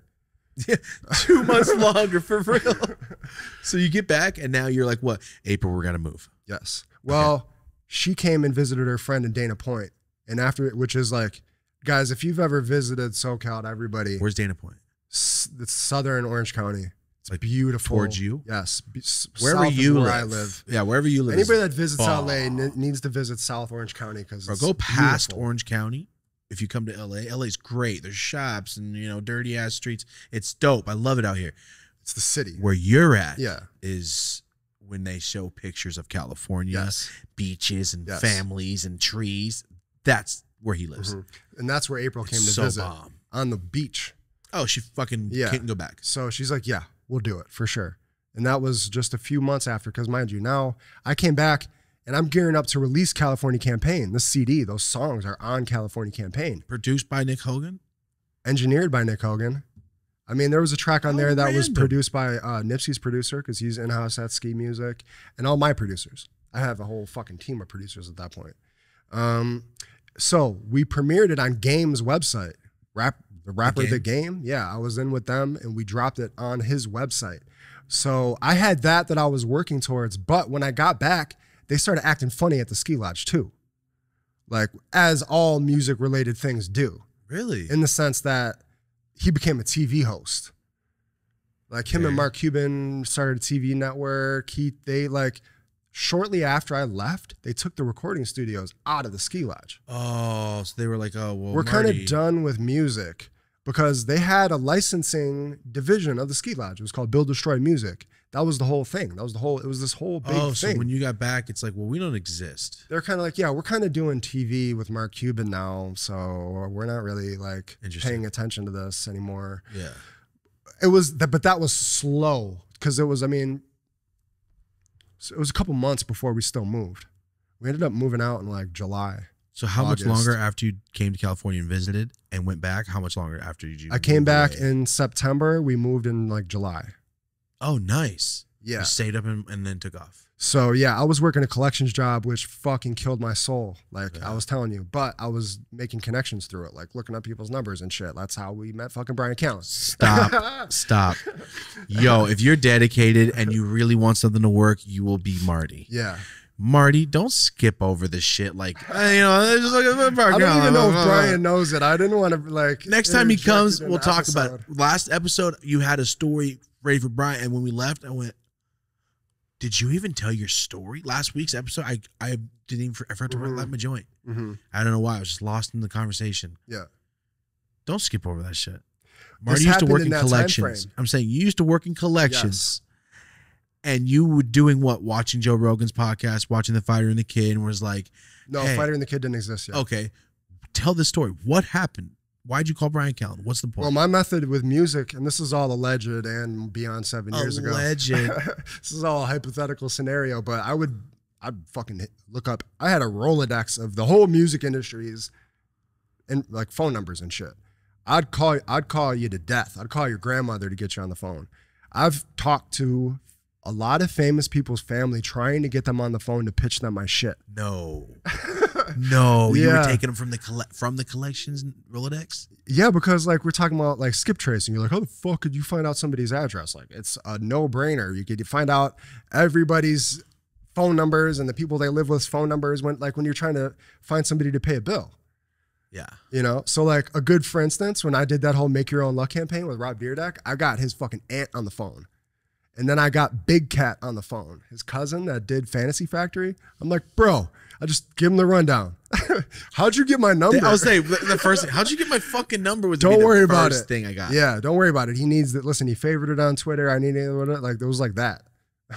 you're that guy. I was at that time. Ooh, that's dedication. and if you don't come off like a weirdo, I might go, okay, fuck Yeah, yeah, I never came off like a weirdo. yeah. Because if you did come off like a weirdo, like, yo, don't very easy. fucking call me Yeah, anymore. Yeah, it'd be very I'd easy be to. pissed at you for Yeah. calling me. But I made real connections But if like you that. really tried, Yeah. like, this guy went out of his way to fucking find us. Yeah. I'm not doing psycho shit for the sake of doing psycho shit, but I'm trying to get you on the phone. you admitted psycho shit. No, it's just aggressive. It's, it's, it's just what everybody else. No, is it's just doing. aggressive. As he admits it's psycho What the shit. fuck are they gonna do? I mean, not, it's just aggressive. not sign me to their record deal? I'm already there. yeah, Like, I get you, but that's how I got in touch with Callen why did you want to get in touch with him? because he had, was blowing. Rogan's podcast was early on. He was one of the first, one of Rogan's friends that got blown up by the podcast. He started his own podcast, the Brian Callen Show, which I was listening to in this time frame, and he had a fucking T-shirt contest going. And you're already doing graphics. Yes, I was hustling graphics the whole time, from the very start of me doing music. You just randomly knew how to do. Just started. My cousin gave me a computer on my 19th birthday. It had Photoshop, and I learned it. really. Yeah, so And that you left that out. I didn't know that. yeah, no, I didn't know that's how you started learning graphics. Yeah, he gave that completely changed my life. He gave me a computer on my 19th birthday. My cousin from Detroit, I was telling you about. Yeah. He drove in, he gave it to me. Me and Jamal were there. He brought a fucking rental Jaguar he had. He let us drive around the neighborhood and shit. He, it was one of the best days of my life. He gave me the computer, had Photoshop and Adobe Audition. That was like a defining moment in my life because I started recording myself in the basement on Adobe Audition and started doing photo graphics for myself as a rapper. But then I started doing it for So all my boys. doing everything. Yeah, we were recording in the basement. I was doing all our graphics. I was doing our music videos. Like I had a whole label of little Yeah, Of and my you boys. fucking filming, and you're taking pictures, and you're doing all that this. shit. Yeah. Yeah. So that's how I mean that's how really that all kind of like. So he had a T-shirt contest, and you entered. So he had a t-shirt contest, and I called him, and you it was got his number, it was him on his voicemail, and you called him. and just said, "Hey, like I just you know I got some t-shirt designs for you. I just if I can send them to you, let me know." And then he texted me back, and I sent him the designs, and then we went back and forth, but nothing really ever happened. He never used them. Did you win? he never contest? paid me for anything. I don't fucking know. No, I don't think so. I don't know. It wasn't even that big of a deal. We just kind of made a quick, brief connection. And I said, I'm going to move to California. And then when I moved to California, I was telling you today, we went and we were looking at cell phone printers. When I first moved here, I couldn't get a fucking job in Buffalo. Okay. I had all these I had skills. I was a super hard worker. I literally couldn't hold a job outside of collections, which I hated with an Mhm. extreme passion. Within four days of being here, I got a job doing Yeah. graphics and printing. Fuck you know, yeah. Where, doing- what city? It was right by where I live. Oh, okay. You know, printing the cell phone cases Yeah. and shit. So, uh, um, where where was I going with that again? you moved here four days, and you were like Brian Callen. You made oh a yeah, yeah. So I was I was running the printers one day, and I was listening to him on Rogan talk about that they were going to start the fighter and the kid, and I just had this like real distinct moment of like inspiration, like hit that motherfucker up. So I right, I was running the printers. I remember I just put the shit down, started printing, and I went into my email. Hey, Brian, I made it out to California. I heard you're starting a new podcast. Let me know if you guys can use any help. And then literally within a half hour later, I got an email from Brendan, like, you know, what are you talking about? So then they just hired me to do some t-shirt designs. So I did a couple t-shirt designs for him. And that's that- where they started. But it was before episode one. Oh. So then on episode episode one rolls around like the night before, and he goes, "Hey, we need a graphic art for today's episode. It needs to be about the episode. It's going to go up first thing in the morning, and we need it to be a cartoon." so now I have to listen to the episode, come up with a creative concept about the episode that makes sense into a graphic, and make it into a cartoon, which I had never done before. And it's going to go out in front of all these raging fans first thing in the morning. And it's your first project, and tomorrow. and it's tomorrow. Yeah. so that's how you started. Yeah. So then I really cut my teeth with Fighter and the Kid. And it was very similar to this in the sense that. What the fuck does that mean? Cut my teeth. like, how I've never heard that expression in my entire life. it's like being a newbie at something, like getting you know, Really cut my teeth. fans out there. I think people know that one. I, I, they- I hope they do. this fool's out here making shit up. no, that's something. I didn't make that Yeah, I really up. buttered my dick with that one. You know? What the I did not fuck is that my mean? dick with these fools. I would never butter my dick. Is that what you just said? I was making shit up, Marty. Actually, what I did is I saw that banana thing and it looked like a stick of butter. I went, uh, Oh, buttered uh, my dick. I was just trying to think of a word. Um, sorry. You started the graphics, got the graphics. They said, good job, you're hired. Yeah, and then I wasn't even getting paid for that at that point. I had to kind of earn that. But the show started to blow up and we started to perform live and that started I mean it was fucking amazing. Those first 2 years was amazing. The fans When did the show start? 2014. Oh, it's relatively new. not really. It's under 10 I mean, years. yeah, yeah. But they're on episode like fucking 700 or whatever.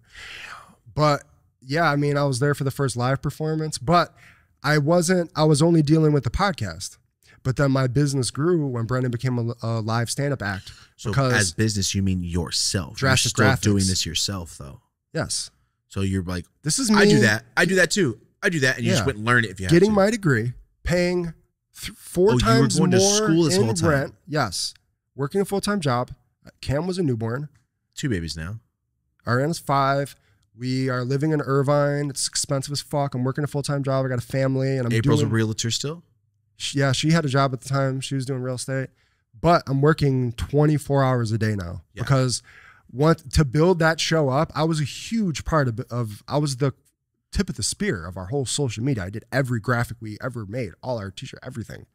So And- all the Fighter and the Kid shit. Not to mention, I had to do an episode graphic every Monday about the episode.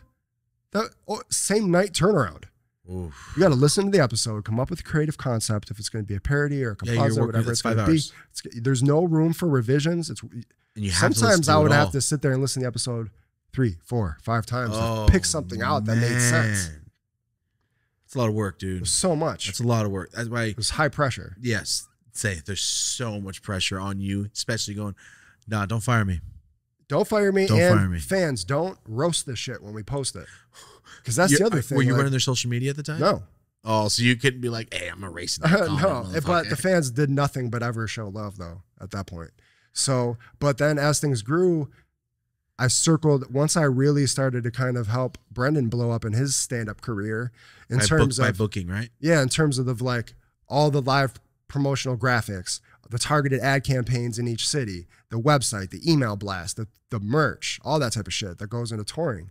Fool did a world tour in the first year doing comedy off of live po- live podcasting, like I'm talking about us doing. Yeah. Like Brian was talking about, he did five minutes to open the show, five minutes to open the show. Next thing you know, the fool's doing a fucking world tour. stand up. Yeah, yeah. You know, but then Brian became like a client of mine as Brian Callen. And then, you know, now I'm managing all his live shows and his whole brand. But with Brian, I was probably the most hands on of all my clients. Like I fucking do handle everything for him.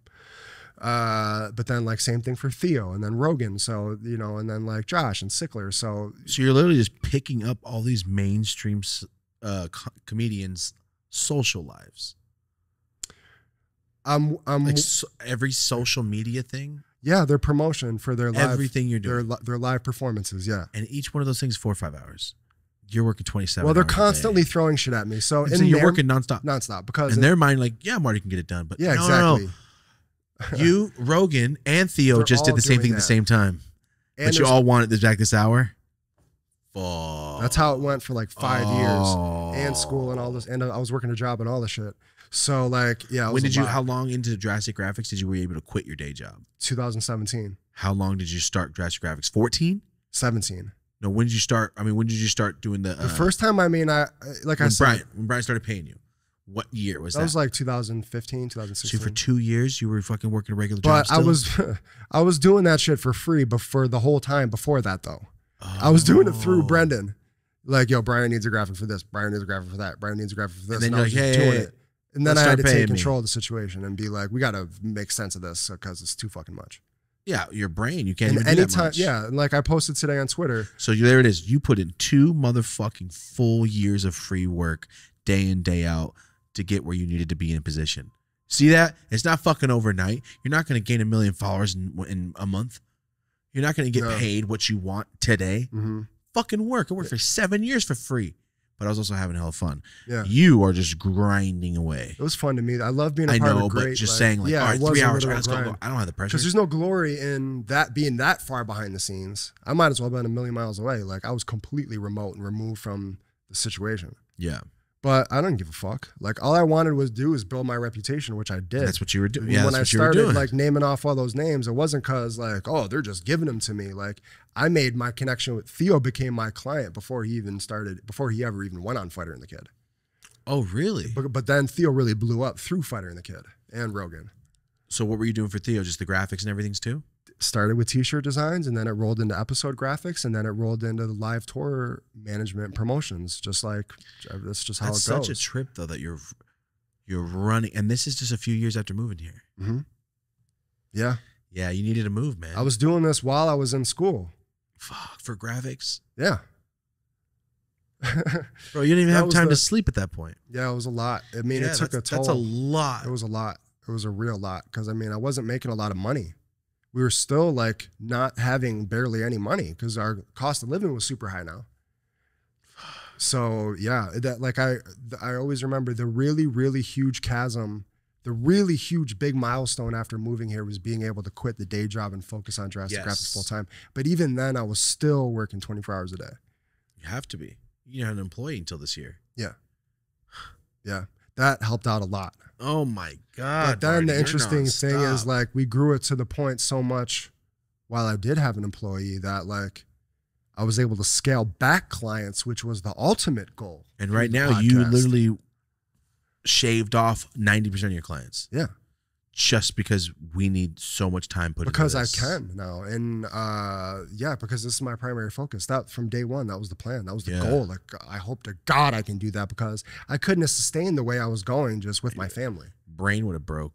Yeah, it wasn't fun. It was no, it was no. Yeah, cool. You work with all these cool people, but the fuck does it mean? You can't don't do get, anything like. You don't get health insurance. You don't get weekends. You don't get time. Like eventually, that shit runs thin. So I just always, I've always known there's been levels, and Yeah. And you can still do graphics and shit when you hire a team. Like, Exactly. by the way, I'm not doing it anymore. yeah, I'm hiring a team of me's. yeah, I could totally do that. Yeah. that's just not my focus. Maybe in the Not right future. now. No, no, not right now. And Yeah. I, right now we're in the startup. This Yeah. is Exactly. this is episode 31. yeah, exactly. this is And- not. I'm not. I'm not. Uh, I'm not greedy enough to think, or maybe greedy is not the right word, but I know when something's special, when it needs your attention, give it to it because special things only come around once in a great while. Yeah. Like, and if you're lucky enough to be a part of it once, I'm. I have the experience of being a part of something special like that, but I was just like a support player, so I know how how it can go, what can happen, what to do, how like what can go wrong. You've seen this whole entire podcast thing Play out. already. Yeah. Like, you know, and if you if you really look at everybody that's done podcasting, it's so new. That particular scenario is super unique. Nobody's done it like that. Nobody's come out of the gate.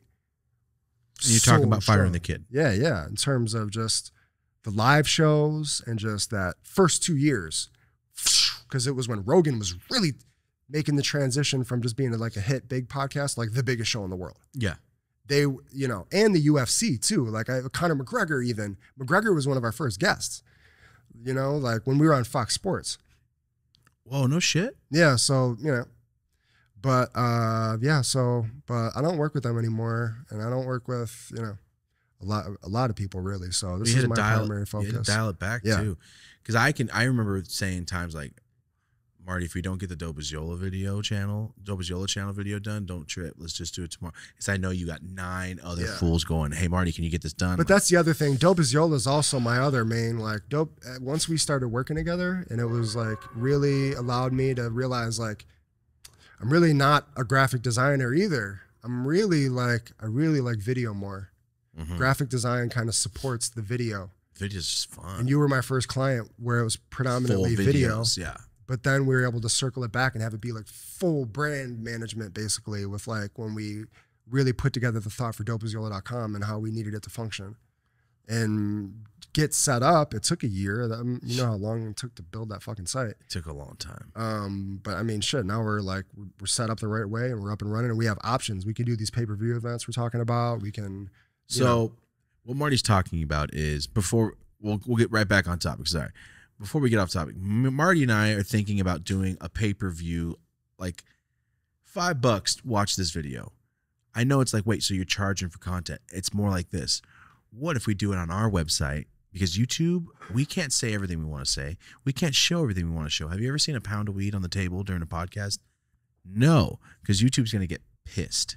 But if we do our own pay per view, I Mm. can have 150 pounds of weed Yeah. on this table and just swim in it. Things like that. But we're not talking about that. We're talking about, I don't want to give it all away, but what if we like a three on three tournament? Like, all right, all the guests come back. We're gonna all, because it'd be kind So of funny to see that. All right, cool. And then it's just, it, it depends on what we want, but either way, we can be uncensored. And we're thinking, oh, okay, so we charge people five bucks. They can come watch the video. It's a good trade. yeah It's a good trade off. I like I love that. it Yeah. I like that. because it's in line with like we um we were saying the comedians selling their stand up specials off their own website for five bucks for you know an hour. But what if it was our and and what if we could just do a podcast in a giant grow room Yeah, shit like do the that. show from like so Uh-huh. today we're in six hundred Uh-huh. pounds of We do the three on three tournament, and then we like watch and react to it from the grow room. Shit like that. Two days later, everybody's still sore. Uh-huh. We're just watching and laughing and shit. That'd be While just trimming up weed. So what do you do? So uh, you know, I'm from fucking Buffalo, man. Blah, blah, blah. I don't know what I don't. We don't know yet. We're just thinking of that idea. So drop a comment if you like that idea. If you like that concept, let us know. We're just we're brainstorming out here. Okay. We want to put out more podcast branded stuff. That's not necessarily the podcast. yes, just different stuff. Maybe a different segment. Yeah. I don't know. Get creative with it as things continue to grow. Because it's hard for me in my brain because it's like, all right, the Adventures of Yola channel, family friendly. So much. The Dope as Yola channel, say whatever the fuck you want. Podcast, say whatever you want, but hold back a little bit because we are also on YouTube. Yes. And it's like, okay, so where's the uncensored? All of it mixed? Mm-hmm. Okay, what do I do? Mm-hmm. How do I word this? What do I do to make it different? Yeah. Because I'm the same person. How do you make the Mhm. same person do four different styles of things? Mhm. It's hard. Yeah, for sure. It's hard. And in my head, I'm like, so what am I gonna do?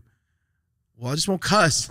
It sucks I'm not changing you're ma- myself you're up. like creating out of the wrong space when you're doing that. I feel Yeah, I feel like I'm not trying to be myself, but it's like, no, I am. That's Yeah. why it always comes back to the same thing. And I always start going, wow, fuck, because that's just who I am. I'm not Yeah. gonna be able to change it. Mhm. But we're thinking about that. Like, how could we be uncensored? Because I'm pretty uncensored. Mhm. I know we, we really more when I watched the podcast back though, it's like I mean, it's pretty clean.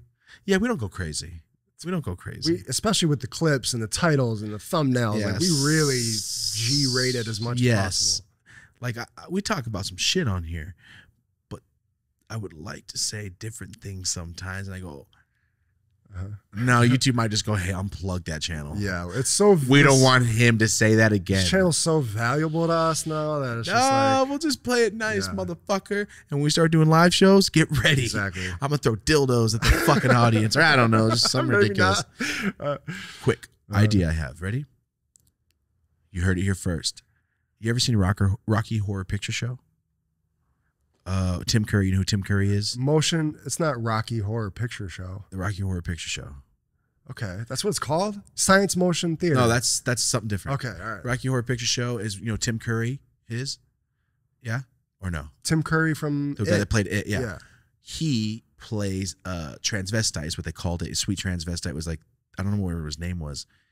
Anyway, it's like uh very sexual, weird. It was a it's a good movie, but it's a, it's a musical.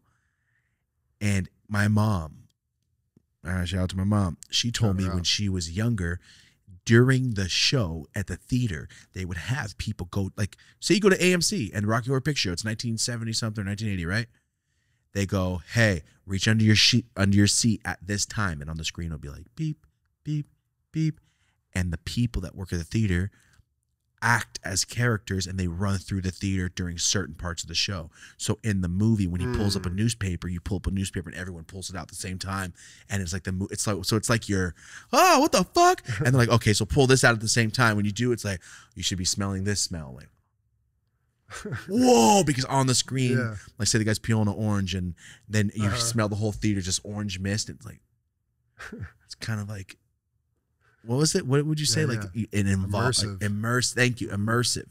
It's fucking cool. So I was thinking, what if we one of these episodes at the end go, hey, so next week, guys, do us a favor. If you can have like some duct tape, this, a pair of scissors, an apple, this and that. Just wait.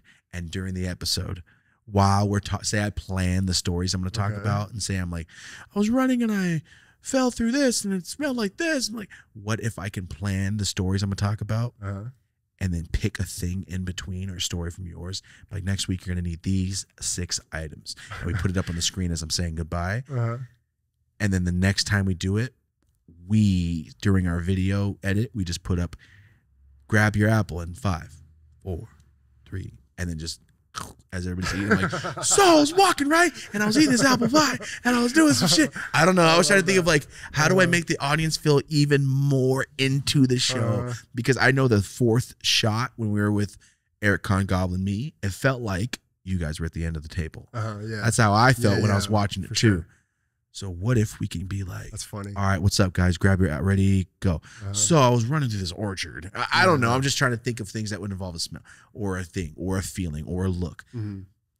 Just a thought. I like that. My mom Some explained that to me. when I was a kid. symbiosis with the fans. Yeah, I, I don't know. My mom told me, I Uh-huh. wait, what? So like, they had a newspaper, and she's like, yeah. And then the guy dressed up like him would run right down the aisle and just scare the fuck out of people. Mm. Sounds odd, Yeah, for sure. but cool. they do that at Disneyland where they're like, See, yeah, the mist with the uh, the uh, Shrek thing where they Yeah. spray the smells. Yeah, That's what I'm trying to say. yeah, yeah, yeah. For Like podcasting. so, exactly, but for podcast, Yeah. and you got to do it yourself. Yeah, except for like the episodes you're talking about your mom. All right, I'll punch yourself in the face. Yeah. So right, right now, what you're gonna want to do is you sh- you stab, you stab right by your kidneys, and then you slap yourself. Be real scared. Start sweating. Whoa. Be mad and scared. Be mad, scared, and sweat, and start to sweat. Hold your breath until you start sweating. Yo, no, we're not gonna do that. But a bag of stuff, or hey, next Uh-huh. week you're gonna need these items, if you want. Mm, I don't know. mhm, Sounds kind of awesome. uh-huh, Leave a comment. Do you like that idea too? So three on three to, or pay per view tournament, uh-huh. Rocky Horror Picture Show style it, um, episode. Could be fun. Oh yeah. Maybe for Halloween. Uh huh. Yeah, we got Halloween, just dressed up as Uh-huh. something like. All right, so you're gonna need this candy, this candy, and then next week you're gonna need this, this, this, this, and this. Uh, bro, that's not a bad idea. I'm with all that type I of like it. See, these are our FaceTime conversations. Uh-huh. We were in a whole movie of your life, and then went, "Hey, you know me sick." right? So Uh-huh. now, boom, it's 2017. You're starting to get paid. You're picking up. Now you're Joe Rogan's guy. You're Theo Von, uh, Brian Sickler, Josh Wolf, all these people. You're doing it for years. You're managing all their social media, managing all their stuff, ticket sales, concerts. This, you're funk. You, it's not like you did it, like because they're they're hilarious. It doesn't work without them. yeah. But I'm saying like for all the stuff that people don't want to do, you're the guy knocking all of it out hmm and and selling out the arenas like Mhm. target marketing target market oh Yes. shit yeah all the Every tickets city they go to, there's a whole ad campaign associated with it. and that's the shit behind the scenes that you never think and I'm dealing with Live Nation and with WME and CAA and all their agents and all the the venues and So you're acting as all that type of manager. shit. I play a lot of that managerial role for a lot of them. I have in the past, big time. wow Yeah. that's awesome It gave me a lot of really good experience. yeah for sure to do it for us Yeah, you I mean we us. see this shit in action all the fucking time. guys i gotta be honest when me and marty started we're like yo if we could just do this a month we'll be happy. And we're, all right well we just do and now it's like well, it's working. Cool. Yeah, holy shit. actual business now. it's crazy. It's fun to be like oh we got paid to come in today? We were just Christ. hoping. Before we were just hoping. And not only did it have to work, it had to work fast. and it did. And it did. and it did. So Fuck thank you guys so you much. i promise you'll never see a scandal you'll never see us doing some dumb Never shit. do you wrong. we'll never do some wild things. I promise. We're never gonna marty o'neill beat the fuck out of april. Like you're not gonna find that all right? You won't do nothing. As long as she minds your P's and Q's she just smacked you in the Yeah, arm yeah, right now while you guys watch this while you're watching this back she's slapping you in the arm uh-huh. and i feel like you should record My her right when this is popping up Uh-huh. just to get that inception Uh-huh. thing going on. Uh-huh. wear the shirt Yeah, yeah. Um, I'm fucking high. So now we're catching up to you're done with music. You're doing all of this podcasting behind the scenes. So people that like podcast and watch that, you were there for all of that shit. Yep. And I started like being involved with like when Rogan released his last Netflix special. Cool. You know, Rogan I what? started getting involved with like Netflix. I started doing the the cover art for the specials, the trailers for the specials, being involved with the production companies of the specials. You know, just kind of like kind of moving up levels and levels, you know, within that. And then I put out the book Full Time Podcaster. Me and my boy Nick, who's Theo's producer, we put out Full Time Podcaster. Nick, Nick is uh, super cool. yeah, Nick's cool as super fuck. cool. Um, Nick just linked, possibly linked us with Adam Carolla to get him to come on the show yesterday. Because Nick used to work for Adam. Tight Yeah, that's when that's how I that's how I work, ended up working for Adam Carolla through Nick. through Nick. Yeah. Um, so then we yeah we put out the book and the book was a big thing because it's like, you know, you get really horrible Where- margins. Where can everybody find that? uh, Audible, Amazon, Apple. It's called Full Time Podcaster. Um, if you go to fulltimepodcaster.com with hyphens in between the words, that You know the all the craziest thing? Not ready. Full time podcast is your full time job. now it is. So is graphics. Mhm. So is editing all of our other videos. It's You two have- different businesses. I yeah. know you're a full time podcaster in this 12 hours area. yeah. in this 12 hour area, we're editing all these crazy videos and doing crazy shit. So it's not like we're trying to do all this stuff while having four lives on top of it. Mhm. And remember, Yeah. you have three kids and you're married. Mhm. You can't just be like, oh, yeah, by the way, they're growing up. Oh, fuck you guys over there. No, fuck that. Every time I fucking call you, someone's hanging Yeah. off your body and, Yeah. and choking you and shit. Yeah. So it's like a lot of the podcasting people, like, yeah, you guys are crushing, you guys are doing it. But I can't wait until we can fucking focus on this Mhm. full time, Yeah. be a full time Yeah. podcaster. And it can, do- it will, It will ev- eventually. sure. We just spread ourselves. We're so doing it organically and we're taking the stairs. Like, We are. We're doing the long route. We could have. and not know, dissing anyone at all. I'm yeah, just no, saying, everybody's like, got their own everyone's path. doing their own shit. We already started on the fucking long route, so we're not going to go Yeah. and switch up now. yeah, you work just as long as I do, except you get up early and sleep at night. And I'd stay up all night and get up at eleven. Yeah. Just on different shifts. It's just different shifts. It truly is. What time you're asleep? Oh, I went to bed five hours ago, four hours ago. Ah, fuck. I hate it. I hate it so much. Um, But but yeah, so I put out the book and I didn't make any money off the book, but it really No? made a big statement. And I knew that was going to happen. It just stamped me and Nick at the top of this industry in terms of the behind the scenes people because when you put out something educational on a subject, you become an authority in that subject. People okay. respect your Also, you're knowledge not about you're not doing this. Oh, I'm not going to tell you. how to do Exactly. this. I'll give hate you- motherfuckers yeah. like that, man. Mhm. I can't stand people like, oh, you're doing great. Oh, you're doing really good. Mhm. Oh, I'm not going to. That is big in probably the artistic style community. I mean, I was just talking about the other day.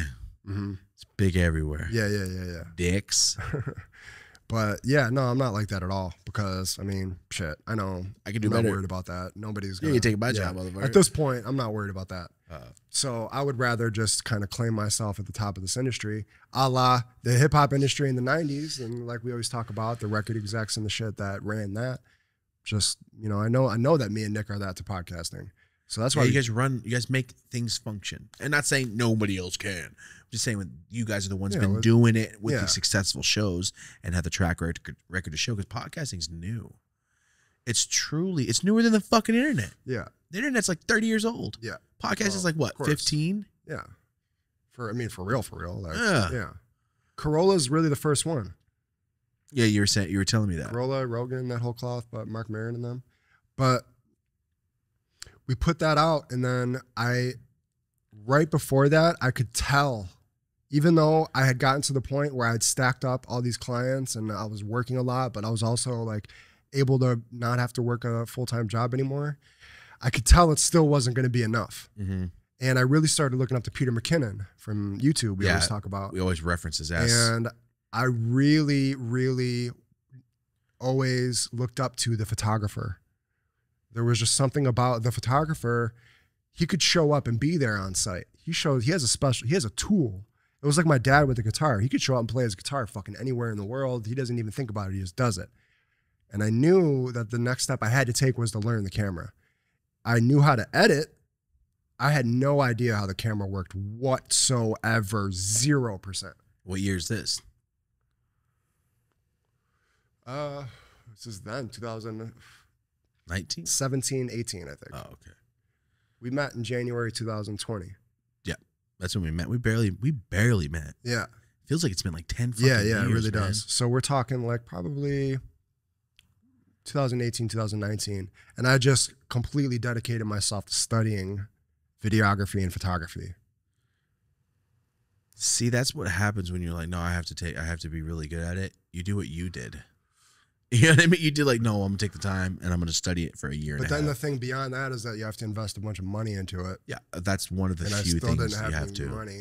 So I got a credit card and spent ten thousand on it my first On go all your stuff. without testing or using any equipment ever, just based off my research, my psychotic research. Yeah, you do a lot of that. You so, do a lot. and luckily I made good choices. I'm really happy with the choices I made in terms of what I bought in my first purchase. And now we're getting close. After I get into this goddamn house for a while and settle down, we're talking about like and making that second round of investments into new camera equipment. Because the stuff I got is good, but it could there's a whole another level above it. Yeah. But that's uh, I want to make a video about that because that's a problem every photographer and videographer that's new faces. There's all this information out there. There's so many different pieces of equipment. They're all so expensive. What am I actually going to need? Yeah. Because unless you know somebody, you can't go test this shit out. And Canon versus Fuji versus Nikon versus. You have to go rent all that shit too if you wanted to do if that. you want to test it out, most Yeah. people don't do that. They just fucking. Most people it. aren't in LA where there's 30 places to rent shit. Mhm. You know what I'm saying? We're lucky. We always think like, well, you don't have something? Like, you're in LA, motherfucker. So It's the mecca of stuff. I got my shit. My first gig ever was Theo Von live at the Wiltern dry Oh, run of- for Netflix. filming. Yes, BTS. Oh shit. My first photo shoot ever was Theo Von, Rat King, When he won the uh, title of guest of Guest the year the on Fighter and the Kid. Yeah. So my first, That's I so was crazy. already, You literally have been there every step of the way, day in, day out, every episode, every graphic, every post, every. I have every episode in chronological order in their file. Every file. I have every file ever still organized. Oh, for every live show, every apparel drop, every promo drop, every I have everything I've ever done completely organized. wow. Yeah, no, That's it's cool so though. But to being able to go back, like, well, that was when I first got here. Yes. Here's where this and this chapter, and then now Mhm. we're on a new chapter. developed into my own style. You know, we did a lot of parody stuff. Parody shit is not easy to do. It's super fucking hard. really. Yeah, because you're so limited in what you can do. If I'm parodying a movie poster, I got to find the person that I'm putting on the poster like in the exact same position as the person, exact same oh. the lighting and the Oh. Yep. positioning and what makes sense and and okay, there's text and there's logos on this goddamn poster. I got to remove them so I can put my own text and logos on it. Each one takes like an hour. Oh God, I mean, depending, it can take all fucking night. I've pulled so many all nighters doing this shit. But then I really developed my own style too. I, Yeah. I, I And fell in love years with, of that though, Yeah. is where is why you're where you're at. But it was such a natural thing because I was already doing mixtape covers and party flyers. So it was like How crazy that you're literally trying to get a record and you go, no, no, no, no. There's money in this. because I got with I got with Dr. Dre's son Curtis. He became like fucking best friend when I first moved here. I realized that Snoop Dogg had some sort of studio right by where I lived.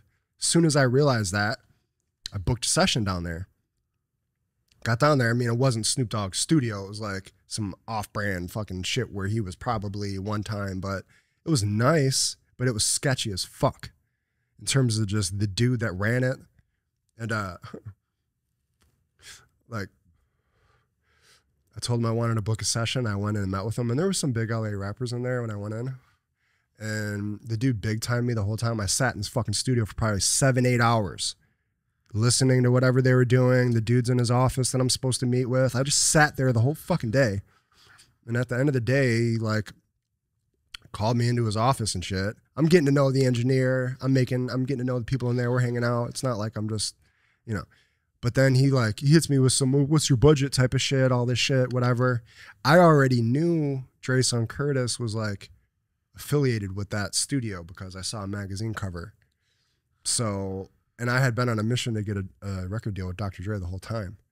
So then like I booked a session. I had to borrow money to do it because booking sessions cost thousands. And then I went in, did my first session, and he's like, "All right, I'm gonna have Curtis come into your next session." I didn't even ask him. I think he Curtis Dr. told me. Dre's son. Yeah. So then I booked a second session, and I come back in. We're recording, and then Curtis walks in. He looks just like Dre, just like him. Whoa. It was creepy, and I'm recording, and then I, I, I see him. I just keep going, and then eventually he pulls me out, and we sit there, and the three of us talk, and then like me and Curtis started our own relationship. I started recording like at his house in his closet,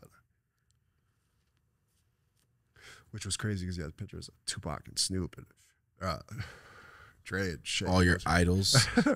it was really surreal doing that that whole run when we were doing that together. But that was also the same time when the shit with Brendan and Brian, Fighter and the Kid all started, and I realized like, even though this isn't what I had originally set out for, this is actual opportunity. I've never made a dollar off music.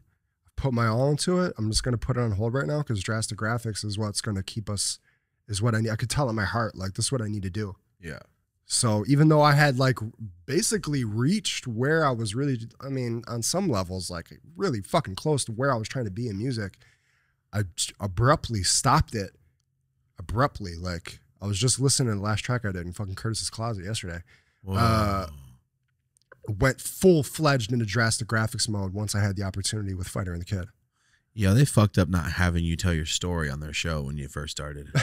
what a story, dude! It truly is crazy Yeah. as fuck. Because when you go 2014 and up, whoa, you've been doing all this shit. Like, yeah, what about before? Like, wait, what the fuck did you say? You used to Mhm. do what? Yeah. This is you rapping? Because remember you sent me, I'm like, I really hope Marty's music isn't dog shit. Because when you told me, I'm like, yeah, send it to me. It's like after knowing you for so long, I'm like, wait, no, this is Marty. Because I could hear like, oh, this has been on the radio. 2000 what? Radio. I totally hear it, Mhm. and it's just you know when you're like, oh, please don't be dog shit. bro. Yeah, of course. I don't want I don't want to look at you like that was cool. Uh huh. Yeah, yeah. It was alright. But I was like, oh no, I can hear it and I can hear that it's you. I'm like, no fucking Uh-huh. way.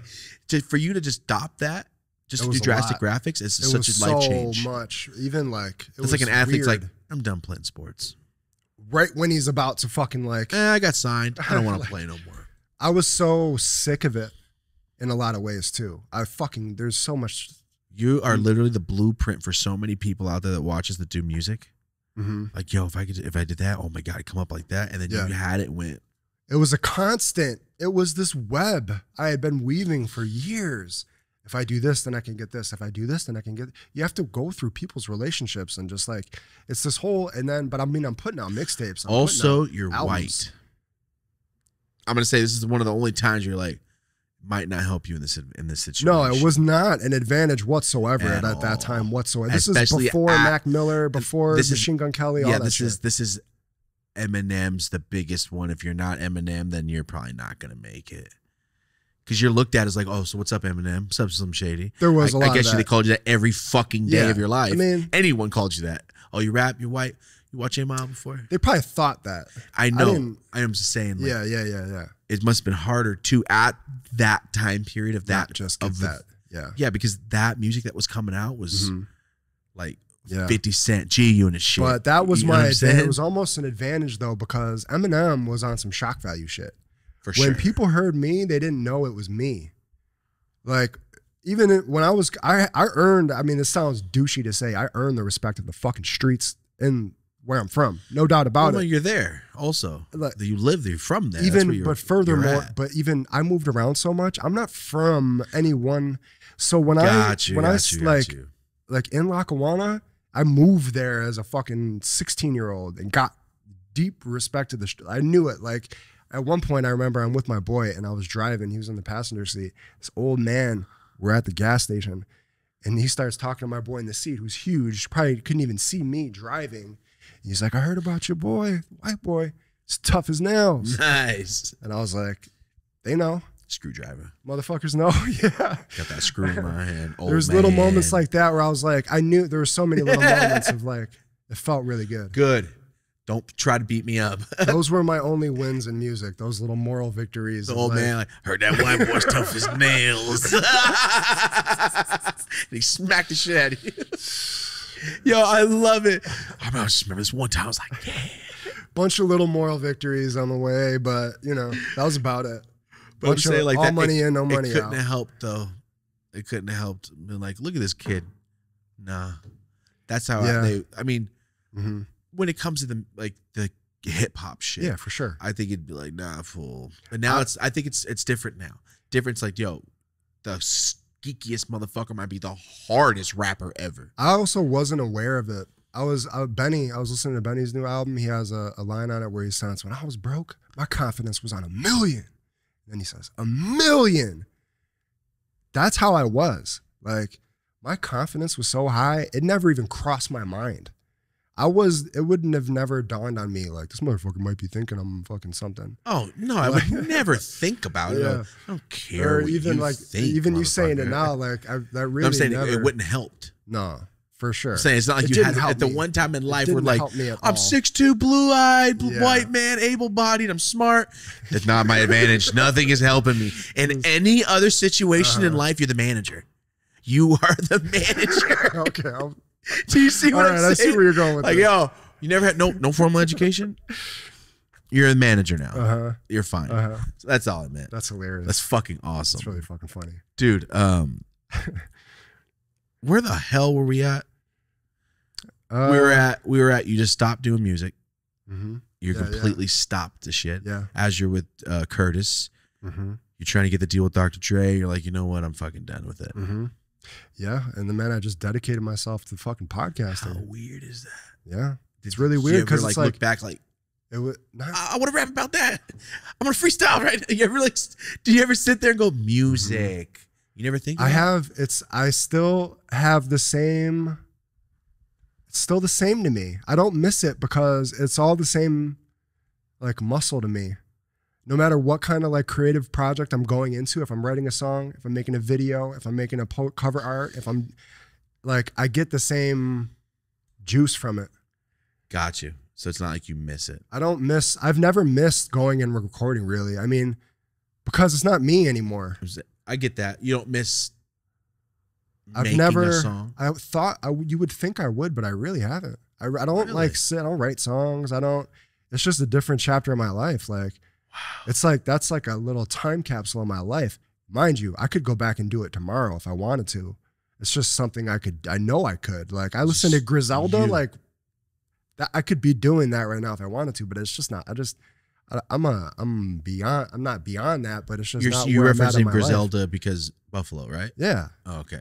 Like, yeah, these motherfuckers are killing it Yeah, Buffalo. that's what I'm saying. Like, I could be doing. I could. That could be my path. But in my gut, I knew like this is this feels right to me. That's what I want to be doing. Yeah, no, I'm just saying. Like, Yeah. you know, you ever talk to boxers like you don't miss it? Like, I almost punch somebody every day, man. was Almost like- every day. When we talked about when I stopped playing basketball, it was real abrupt. I got. Yeah. I crashed and burned, and then I was dead, like obsessed with music. I never thought about basketball again. I was obsessed with basketball my whole life up until that point. Crashed, burned, switched obsessions. Okay. I a hundred percent understand what you're saying. Because I all I did was play sports when I was a kid, and as soon as I stopped, I didn't give a fuck. Mm-hmm. But I do sometimes because it's fun. But I, I totally understand. I you're didn't like the feeling of being out here and like still being half of the dude I was in Buffalo. I didn't like it. I was going like I didn't want to be him anymore. I wanted to be a young, successful like entrepreneur, like all these other people in Irvine. That like, especially when we moved into the park, which is like luxury, brand new apartments. We got a deal because April worked for the company when we first moved here. It looks it's straight up luxury, and I felt like straight white trash when we moved in. I was self conscious, like I didn't want to be who I was. I wanted to. I wanted to be more. I want. I was. I didn't. Not saying like that's childish or anything. You just don't want to be that guy anymore. Past chapter of my life. It was like a rebirth moving here. Just a different life. I didn't want That's fine. to Yeah. be like That's all I like was talking out about. of jail going, I'm gonna do good. Yeah, my music was about struggle. I wasn't. I mean, my music was about making it out. That was, if you look back at my music, that's what it's all about. The first couple of years were on some like street shit, but then when you look beyond that to when I was really going in making real music, like it was all about making it out, basically, like what my goals were and shit. California campaign. It was the only way that I could see that I could get out, uh, out Yeah. make, like make something cool happen in life. First, it was like, all right, I got to go to the NBA. I was like, all right, I need a million dollar record deal. Like I've always, I've always liked You those go like hard million, every fucking one in a million pops. Yeah. Well, I know. The other day you go, we need a million dollar sponsorship. Yeah. You said that to me like three days ago. I say it very need that million dollar sponsorship, having- Yeah, we're having conversations. I'm like, yeah, yeah, these are all cool, but let's not fucking forget, like, let's start thinking about some goddamn million dollar deals. And I say that because I That's mean, people a- have done it. yeah, that's not a bad way to think, man. If anybody's done it, we can do it. I've s- Yeah. seen it be done, you know, by people before, meaning it can be done. And the thing I like about it is I like as soon as this camera's off and shit, it's not like anything changed. It's more like, yo, if I gave you a million dollars more, what do you do with it? I'm gonna go pay this off. I'm gonna do this. I'm gonna do this, this, this. Like, cool. Me too. Uh-huh. You know what I mean? Like, it's not You'd never even fucking know. what you never even know you got a million dollars. I know what you're saying. You might know I got a million dollars because I'm like, yo, this car I wanted for my whole life, I Mhm. got it. Like, how? I got a million dollars, you bitch. Yeah, I'm not saying I'm gonna go like, yeah, because a million dollars is really not a lot of money it's not. at all. But I'm saying at once, here's a million dollar deal. Like, Mhm. wow, thank you. That's breathing room.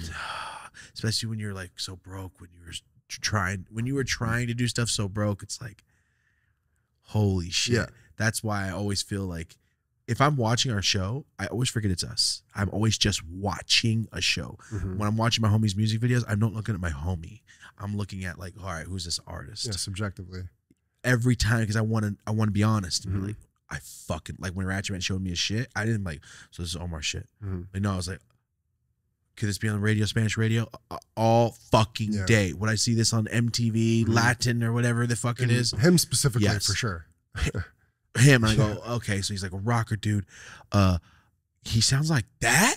Holy shit! Mhm. I love the contrast. Yeah. he'll he'll be popping. Mhm. I like looking at people like that. So when I watch our shit, I'm not looking at, oh, I didn't like the way I move. Oh, I don't like the No, it's like, I think I said something funny right now. Yeah, like, yeah. oh, that, Mhm. that- oh, that do that.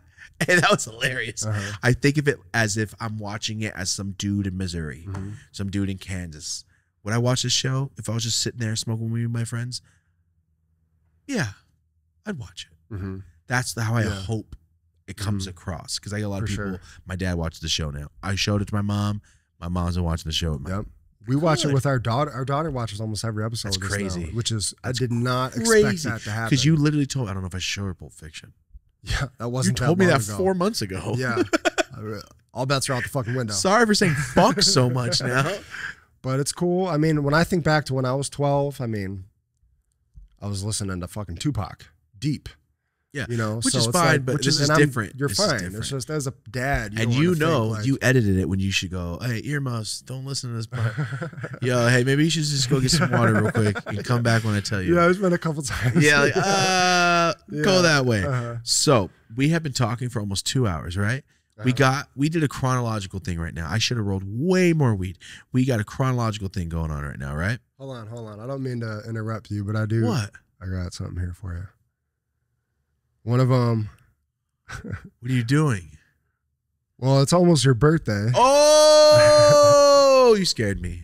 I thought you were gonna pull out some something. No, not I'm gonna I'm gonna overlay this on the uh, screen, but somebody sent me a birthday video for you. a birthday video. Uh huh. You're Emery. Thomas, aka Dope, as Yola. Well, so I'm not the only one around here with a nickname, huh? I like yours. I don't understand it, but I like it. Your birthday. Martin O'Neill has been talking to me, and he said it's my best friend, Thomas, aka Dope as Yola's birthday. Shit is crazy, right? you're a die-hard Seinfeld fan. Get the fuck outta here! YouTuber and podcaster. Well, very good, very good indeed. I think that makes you a little soup worthy. you should have some soup on your birthday. So, the ordering procedure. Shit know is your crazy, soup, right? have your money ready. Speak your soup in a loud, clear voice order and step six feet to the left. This motherfucker is with the Soup times. for you. Unless, of course, dope as Yola, you're pushing your luck, little man. In which case, as you know, it would be bread. Three dollars. No soup for you. Come back one year. Next. Yo, this man's. on I don't on think you point. want that. You don't want to YouTube or podcast that kind of an outcome. You want to let everyone know you got your soup. So get your soup. Have a happy birthday and adios, muchacho. Yo, no way. that shit is crazy, right? The second I came, I was like, that the fucking soup Nazi? What are you? Sh- it's his cameo. No, you're the man. Uh, so funny, right? Oh my god, my homie used to live next door to him. And I No always got so sad. I was like, "You bet the Snoop Nazi motherfucker!" yo, holy shit! I did not expect that. Yeah, I was like, yo, what is he gonna show I me?" I almost fucking forgot. awesome! Thank you so much. yeah. Thank you for the sick Bills hoodie. I'll flash it up on the screen. Bro, what? It's borderline. Our, this episode's right in between both our birthdays, and and Freeway Rick Ross pushed us back, so it was kind of nice. That was fucking awesome. this episode's coming out on my birthday. Yeah, yeah, that's what I'm saying. Hey! Yo, Soup Nazi. right? That was so fucking epic. Please send me that after we're done. Yeah, yeah. Uh, I can. I. Where was I going? I. I was saying something. It sounded like you had uh, some path you wanted to go down that I didn't know about or some shit. Sorry, I interrupted you. What happened? Sorry, we were talking about everything, and then you that that threw me the fuck off. Yeah, yeah, yeah. And I said, man, I wish I would have. Yeah, more no. So we basically just got through. uh We basically just got through like Where you at? Getting all the way up here? educating myself through the camera, buying all my equipment. I bought all my ten thousand dollars worth of equipment. I did two shoots. Hold on, hold Uh-huh. on. Soup Nazi. Oh, yeah. All right, just for everybody out there. Sorry, I'm still, I'm still processing. I can't wait to send it to Rosie. Got to put him on the soundboard now, right? Oh Uh. fuck. Okay. You got all your stuff. You did your shoots with Theo, did everything. We started. You started liking video more. We met me. That's 2020. well, yeah. So I go to I go back to Buffalo for the first time. When? When I knew you. No, so I went back to Buffalo in late 2018, And you left in 14? 13. 13. Yeah, 13. July 2013. And you know what was really trippy? We got a air, three month Airbnb with my boy from Buffalo that I did music with, Mikey. When we got to the house across the street from the Airbnb house, this big ass house in Tustin, was this little basketball court that belonged to one of the neighbors, but it was a little dirt private road and they said we could play on it. Etched in the concrete of this basketball court, it said Martin and Michael. Both of our names. Whoa. Fucking trippy. Whoa. But then that was it. Oh, that was that's the That- whole story? No, that was like nothing else on the concrete. Oh. but yeah, anyway, he he headed back to Buffalo like right away. Um, You guys got an Airbnb here. I know you guys seen the story before, but Marty was Yeah, with the guy Curtis, Dr. Dre's son. They happened to come to a party. We needed a camera guy. Marty said, "I'll do the camera guy," and he was filming. That was fucking me. right after that time frame. I'd only been here about a year. So then Wild. now, okay, so I go back to Buffalo for the first time. I see my family I was telling you about. I reconnected with my mom's side of the family. I had a family reunion for the first time ever, which was a huge And you met them. like yeah re-met a lot of my family which was like a really big moment. I was at delaware park which you know like we were talking about rip man. That's fucking there's a horrible news we were talking about delaware park in buffalo last episode. Horrible tragic news story happened at delaware park since then like two nights ago. Anyway i was just looking at the pictures. We were there. But then while we were there like i listened to whatever Dope as Yola video was that you said you wanted to do the podcast and i reconnected while i was in buffalo. Oh, So- really? yeah because I remember when you gave me the DM and I and I'm like, let me see what this guy's got to say. For some reason, I'm like, let me see Mhm. what this guy's got to And, say. And like, April didn't know what the fuck you were. I was like, trust me, this could be something big. I just made a big connection. As soon as we get back, I'm gonna go meet with him. Yeah. As soon as we came, I was there for like fucking three weeks. It was so oh, it was that trip. I remember oh my that god. trip. So this, hold on, this is the first time you've been back. Did Mhm. you see anybody that we've talked about? Yes. Yeah. Yeah. I saw. I saw a couple of my boys.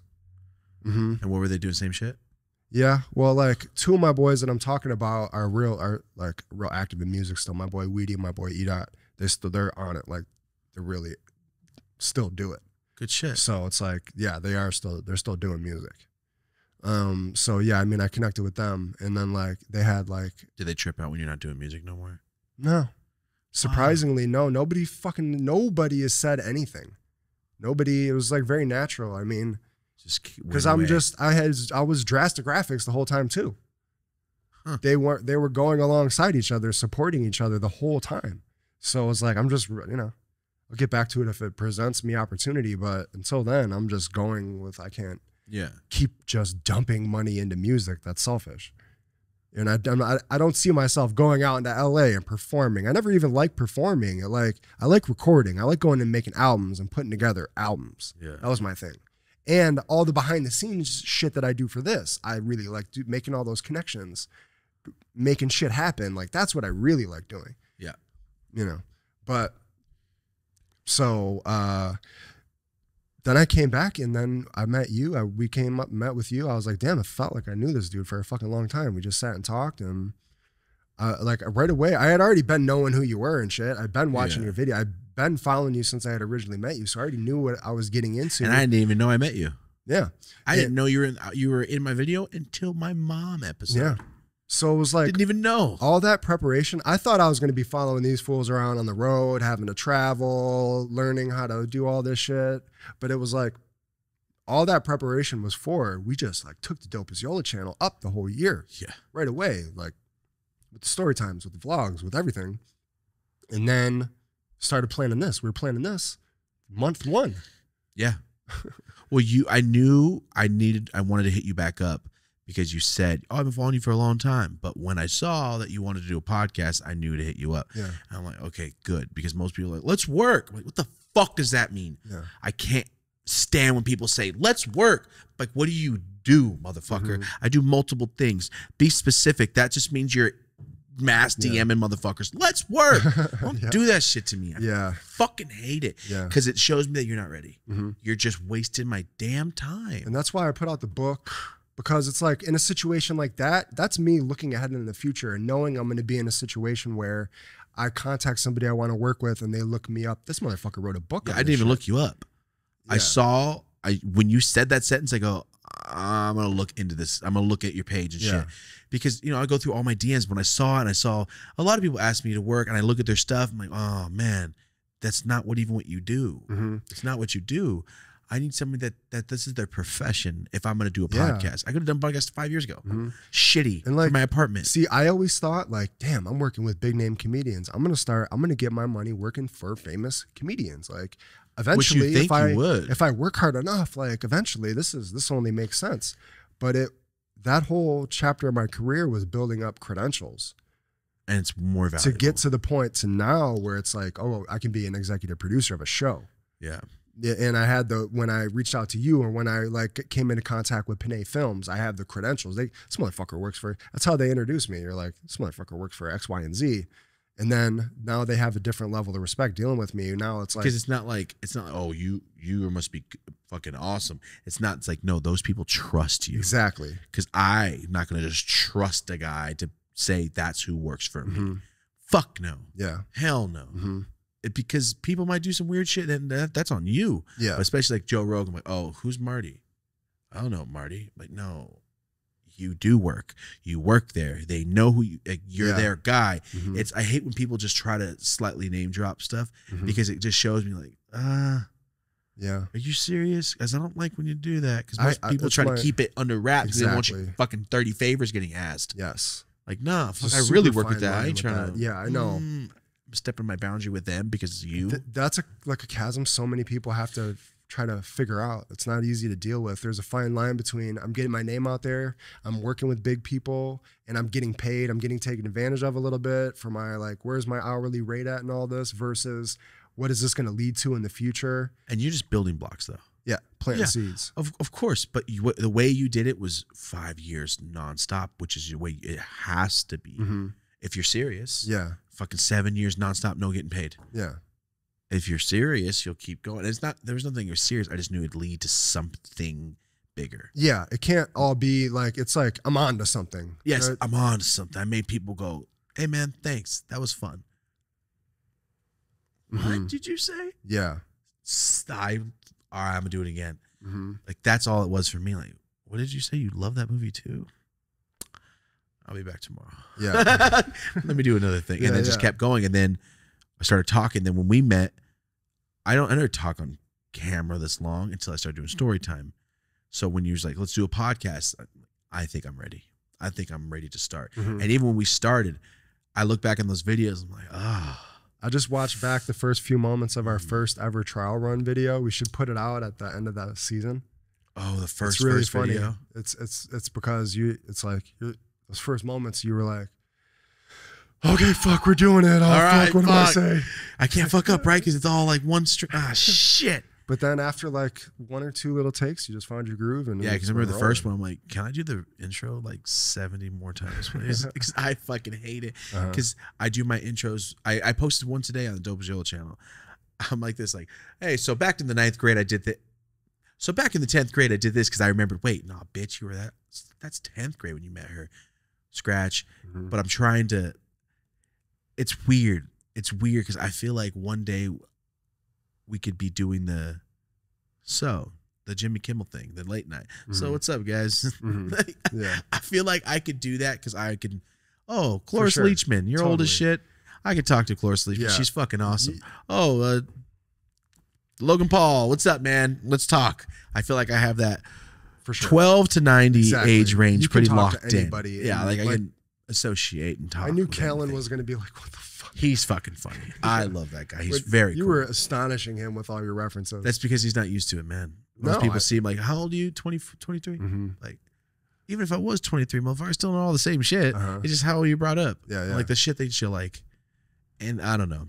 I feel like we could do a late night show. I feel like we could do a talk show. Uh, Mario Lopez, whenever you're ready to be like, hey, man, I know I'm buff, but Thomas, you can take over my spot. Like, I'll take over Mario Lopez spot. Uh-huh. I'm trying to get buff right now. If I- Yeah. How about this, world? If I get buffer than Mario Lopez, put me on Jimmy Kimmel late night show.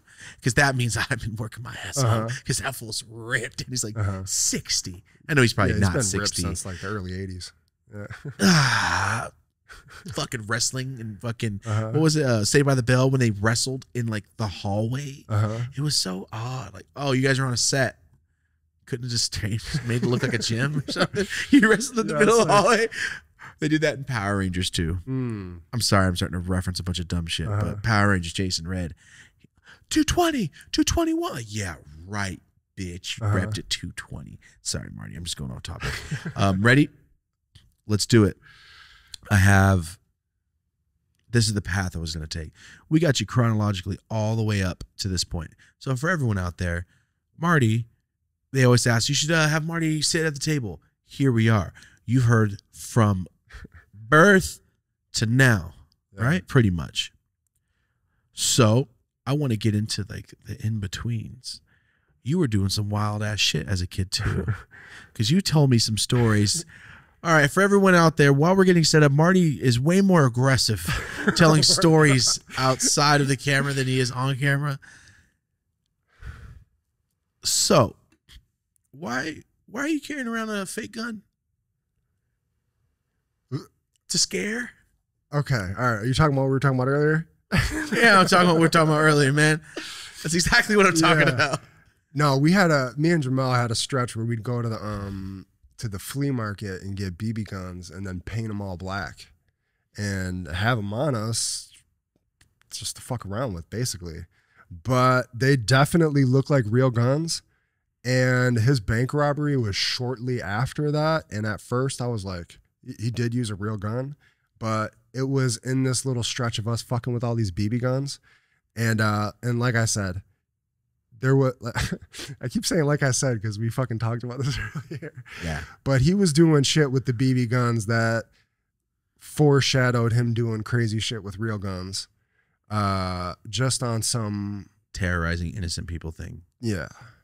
And we're not trying to sit here and just put this guy down. We're just talking about stories you guys used shit you yeah, do. no, this yeah, I mean we I mean the BB guns weren't really a huge deal. The one little incident he scared this girl with one that you know uh and but then there wasn't there, like we were talking about we're there's this whole situation and we're in the back seat of this girl's car and this fool we're at a red light and this kid rolls ro- rolls down the window there's a father and son next to us points the BB gun at him and like the fear in this dad's eyes like in his son in the front seat young kid now especially that i look back at that i've always remembered that because that was one of the moments I, I was like oh we're different. That was one of the moments i realized we're, i would never do some shit like that. We're different bro. You're some darkness inside there. Ugh.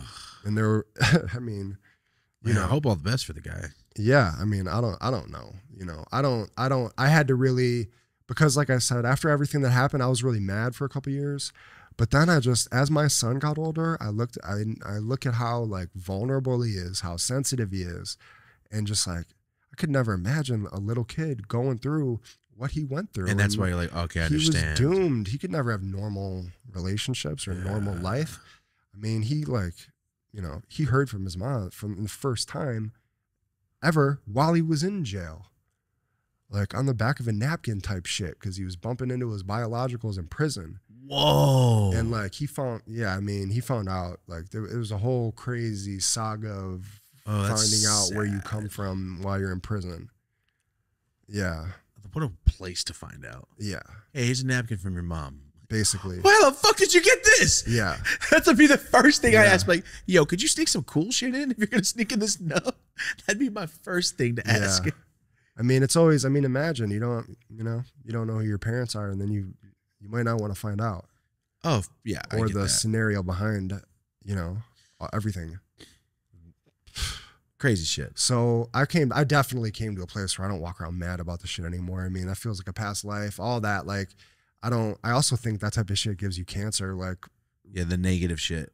Con- holding big, long, Having conversation right now. I bet you, you guys just want a lot of you just stopped having this conversation ten minutes ago, where you're having a full on argument with a person that's not even there about a situation that happened five years ago. Mhm. I've done that. For Yeah, I still do it, but it can consume you at the same time. Yeah, you got to stop. I have full on conversation with people that fucked me, and I go like just fools that played the shit out of me uh-huh. when I thought they were my friends. Yeah. and I just like it literally physically hurts Yeah, my yeah. head thinking about. You can have stretches people. of weeks where something really bothers you Oh, like that, or fuck months or years. Yes, that's why I can't. That's why I always say I'm so glad I wasn't a gangbanger. I'd be dead because I can't let nothing crazy shit go like Uh-huh. that. Like, what'd you do? Uh-huh. What'd you do? Oh, Uh, I'm never going away.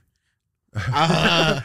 yeah. No, I can't do Yeah, it. Like I know I'm gonna throw up thinking about it. Mhm. So don't do that. For everyone out there, you had to let it go because it's gonna kill you eventually. Thinking about it. Yeah, and you know, I understood. I just grew up more and just like uh, you know, people go through crazy shit in their lives or whatever. I don't know, but my circle's so tight at this point that you know it really doesn't fucking matter. yeah. Nor and it was good for me to be completely isolated because I didn't still have one foot in Buffalo for I didn't go back for five six years. It's crazy. So I was completely isolated and I just made it, you know, a whole new life out here. And when I did go back to Buffalo and saw all my boys, it was fucking amazing. Like when we went out to dinner and that was really cool. Like, you know, we're out at a bar and shit and a bunch of them came through. But then also when we, I was like, went back to the hood for a little bit and we were chilling and shit and like seeing some of my peripheral boys that I might not have expected to see and them come through, like telling the younger dudes there about like, uh, you know, this motherfucker's a legend right here. Like, all this shit he went through, all this shit. Like, really, like, they're on some music shit still. He's putting in context. What the fuck you got to do to make it happen? Type of shit.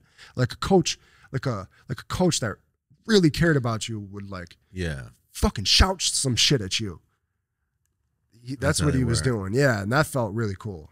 Just to sit there and be like, damn, I'm on the opposite side of this fucking Fuck, man. I don't now. even care about that no more, which is crazy too. That is crazy too. That's wild. Last time I was in those apartments was we were on a it was our life mission. I mean, it's my whole identity. My whole I like I'm like that, I guess. Yeah, the videos you've sent me of you filming your homies Yeah, in yeah. these houses Because it's shit. cool because we were gonna make a DVD. We were gonna like put out a DVD at some point. And I got all this fucking hood footage. You and that beard and all I had the chin shit. shitty chin strap. You had all that crazy beard. It just like, well, that white dude's got a pistol. That's all I look at. Well, that guy stands with a, he's got a pistol right there. I could see it. Like, damn, you're the only white motherfucker out here. Yo, that's because when I went to Oregon, I'm like, damn, I'm brown as shit. I'm the only brown Uh-huh. motherfucker here. When I went to my school, like, wait, Uh-huh. whoa, I don't feel safe, I guess. And I know that sounds terrible, but it's more of like, did I come to a good town or Mhm. a racist Yeah, town? what kind of white town What kind of white town is this? But the same with a, uh, you go to like a predominantly Asian town, go, yo, are these like the cool old Asian chill, like watering plants, or are these the fools with Uzis? Uh-huh. because there's always though that's my same people think with Mexicans. Oh, I went to East LA and it was fine. Like, yeah, not all Mexicans are gangsters, Yeah, yeah. stupid. But it's what you have to assume. Like, so which part of town? Yeah, yeah. Mhm. You can always tell when it's a when you ever see a 99 cent store, you know you're you're getting to the Uzis. there's never a 99 cent store where there's Targets. You know what I'm saying? On that, like right next to.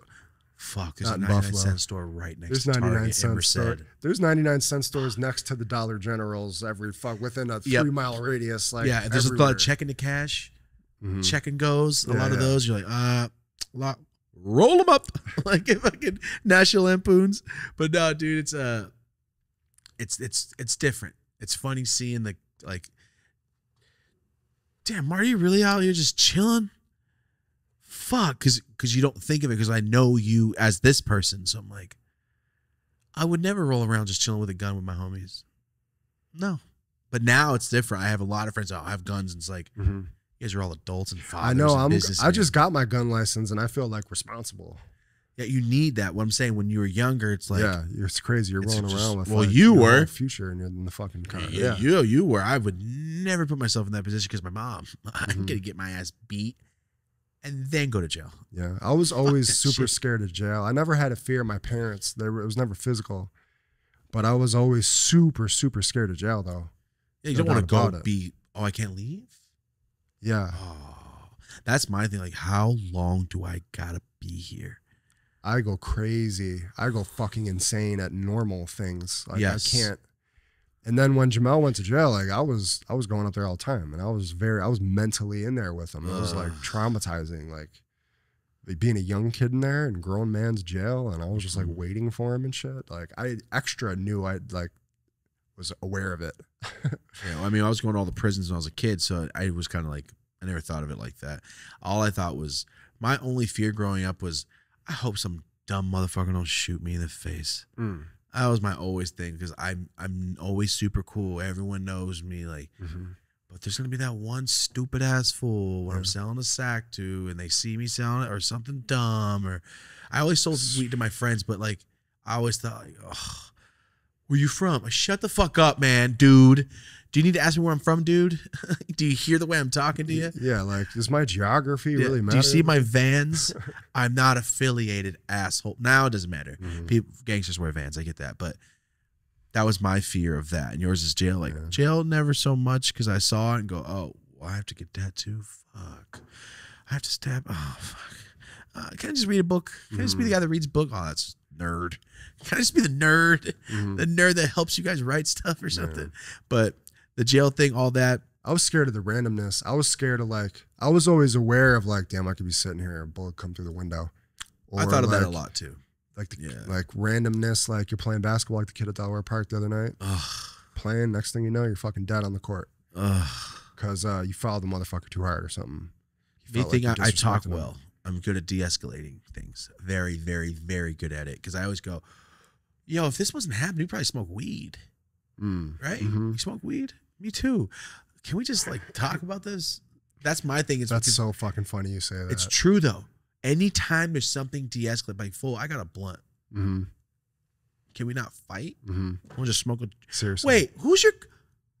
You went to what school? Yo, and then that's how it always works out. Like, oh, you Uh-huh. killed somebody for what? Uh-huh. Who's oh that's his brother? It's Some you knew that kid? you fucked up and just killed some guy over an argument. I hate it so fucking much. That's why I hate going to stores.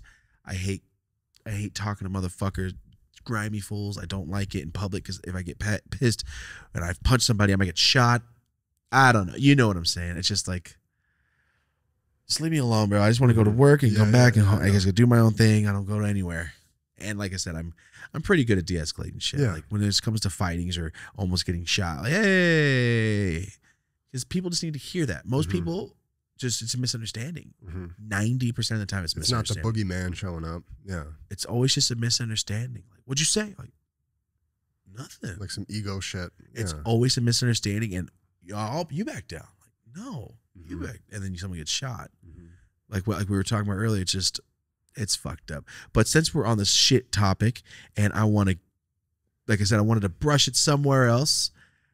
You pulled interview with a drug dealer on me right now and goes, Yeah, you know when he scared that girl with the gun? You told an aggressive ass story in the car Uh-huh. and you told me everything of what happened. And in here you go, Why well, you scared scared a girl with a gun. oh yeah, that you whole story. motherfucker. You told me an elaborate ass. Whoa. Oh, we're about to do a podcast right now. Save it. So we'll skip the whole cool part about this girl was a dumbass and they went to Uh-huh. fucking scare her and make her think she was getting robbed so she'd be no, this girl was like my borderline half a girlfriend. Like I was telling you, she would like Oh, that's right. That's right. She would like literally come by and see me on the my lunch breaks at the mall and shit. I was working at the mall and then hang around and wait because she was from like by Niagara Falls. Like her, she had like a rich family. She liked coming down in the fucking Lackawanna and shit. So then she like this one time, but she was always so fucking snaky and sketchy and doing extra snaky shit. But I didn't give a fuck. I I really didn't. So she was would like literally wait for me in the parking lot of uh Walgreens by my mom's house while I was working, and then she was doing like some super extra extra shit or whatever. And uh, Jamel walked up to the car with the fucking BB gun and like tapped on the window with the fucking BB gun or some shit. Scared the shit out of her while she's like, and then I'm there, and then You like dick. you know we get in, and then where she's then like the- driving us back into. The father and son thing. that's when that happened. He was off the Did chain with that shit. him to scare her with a gun? I don't think I didn't ask him, but we were like, we had it. We were like toying around. This is a BB gun. We it. were like, we had it. We were kind of menacing with this fucking thing a little bit at the time. Like we were active with the fucking BB gun. Sounds like motherfucker. no, I mean, You're the commercials.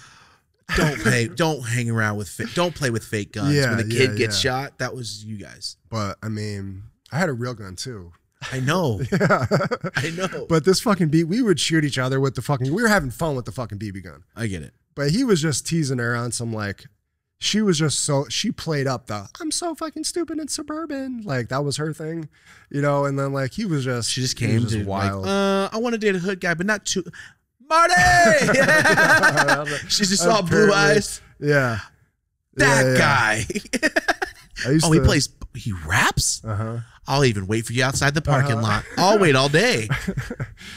So yeah, but that was when that exact incident is when the thing happened when he pointed the BB gun at the the fucking dad Father and his and son, at the red light. Because that moment always stuck with me. And then, like I said, shortly thereafter, this motherfucker was pulling. Armed Real robberies, robberies. and bank robberies. Yeah. Fuck. So did he get out of the bank? Yeah, he was. He got out and He was on robbed the, run. bank, So took off. They got off on foot. They ran around the corner. Now we're in one of the. They're in one of the nicest suburbs, Kenmore. It's like uh, it's He robbed a nice bank. they robbed the police credit union. Okay, like the whatever Kenmore Police Credit Union. Okay. okay.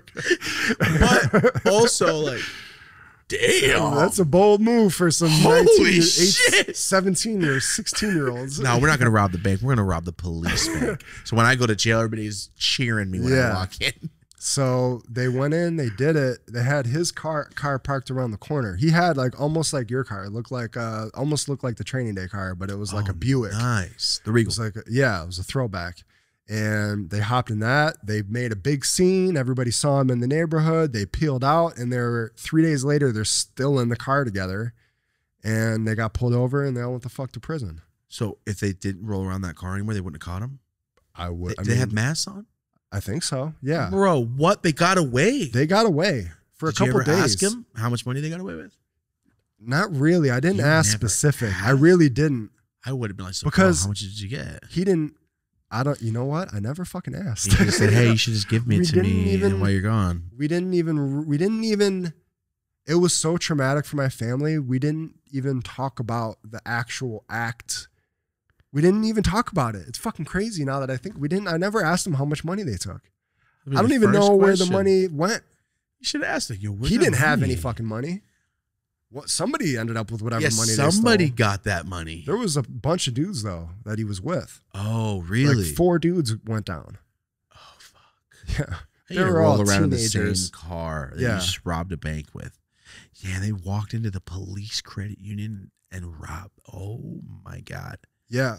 savages. Yeah. And I had no idea. Wow. We saw it on the news type of shit. My mom called me. I had just met April. Watching this shit?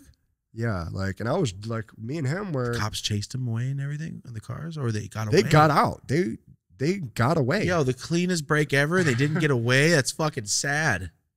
He was asking for it. Yeah, he's definitely asking. He was it. on a string. He was going through a lot of shit. You know, he really was. sounds like yeah, he's all fucked up. he That's was sad. all, like I remember one time we um they used to have me house my aunt and uncle used to have me house set when they would like go places or whatever once they moved out into the suburbs and Jamal was living in one of these other foster homes on the east side for like time beings and shit. But I would still go get him. We'd still be fucking hanging out the house. I'd be house sitting. So he's no longer like living with my aunt and uncle, but me, or like still fucking hanging at the house because I'd go and pick him up and they'd Yeah. be gone or whatever. And then like we'd have a we had a party one time at the house, and he got real drunk. And he's fucking. I mean, not only did he puke all over the sheets that I had to handle because I was, didn't like, but then he's like, bro, my mom, like he started talking about his. It was the first time I ever heard him talk about, like Yeah. all that shit. We never really talked about it, and like that was just like, damn, bro. I can't. I, that to me is like, I don't know what to do with that level of pain. There's, Yeah. and then I mean, I, I at some point I realized like, all the people in my life, all my closest people in my life had that level of pain. Like they all had, like really bad childhoods, and I was I remember thinking like, damn, I'm really lucky because when I was really young, like It was dope. it was fine. Like it was just normal. Like That's I didn't have all this extra shit going on. They just it was just It's normal. great. Yeah, and I, I realized that we were different because of that. Like I know I'm not capable. I would never rob in a, a fucking bank. Even then, like even when the dude was telling, even when the dude said rob the but rob a fucking bank, Oh yeah, when he asked you about you were gonna get paid. it wasn't in the cards for me. Yeah. You know, like what uh, you know, and it's the same thing that we were talking about. The difference between, you know, if you're if you're uh, if you if you grow up like how you know, and you're a, a good person by your formative years. If not, you could be a cold hearted kid at 15, fucking shooting motherfuckers. For sure. By the time you're 19, you're cold as shit. yeah. Ugh.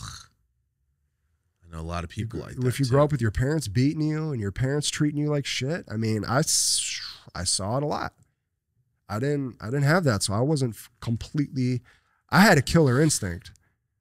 I developed that. Like I remember, like music gave me that, that like real confidence. I didn't really have that in basketball. I was the hardest worker, and that was always enough to float me by. But I didn't have a killer instinct. If I had a killer instinct, I would have gone way the fuck further. Yeah. But I was nice. But when I started doing music and really hanging out, I developed that, and that stuck with me. For sure, I mean, sure. I'm just saying, like from all the entrepreneur people, people doing graphics, people doing music, people trying to come up, people trying to work for. Do you see what I'm saying? Like it's a blueprint. I, I mean, the way I see it, Mhm. that's why I'm like, who is this guy? Like, don't worry, man. He works really fucking hard. That's all Mhm. that matters. Yeah. Truly. Like I don't meet a lot of people that have the work ethic like that at all. Ev- fucking ever. Rare. If it's not out, Mhm. outside of my family, I've met maybe three people like that. Mm.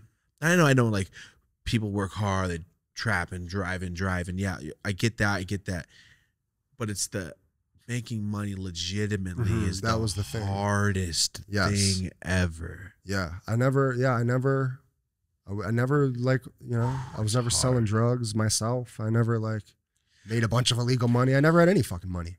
Yeah. I'm just saying, like you had to do it just literally just working and working, working, Yeah. working, working. Like exactly. The unglamorous route. Yeah, which is fucking awesome. Yeah. Yeah. But I mean, shit, worked out. fucking paid off. That's what I'm grateful for now. Worked out.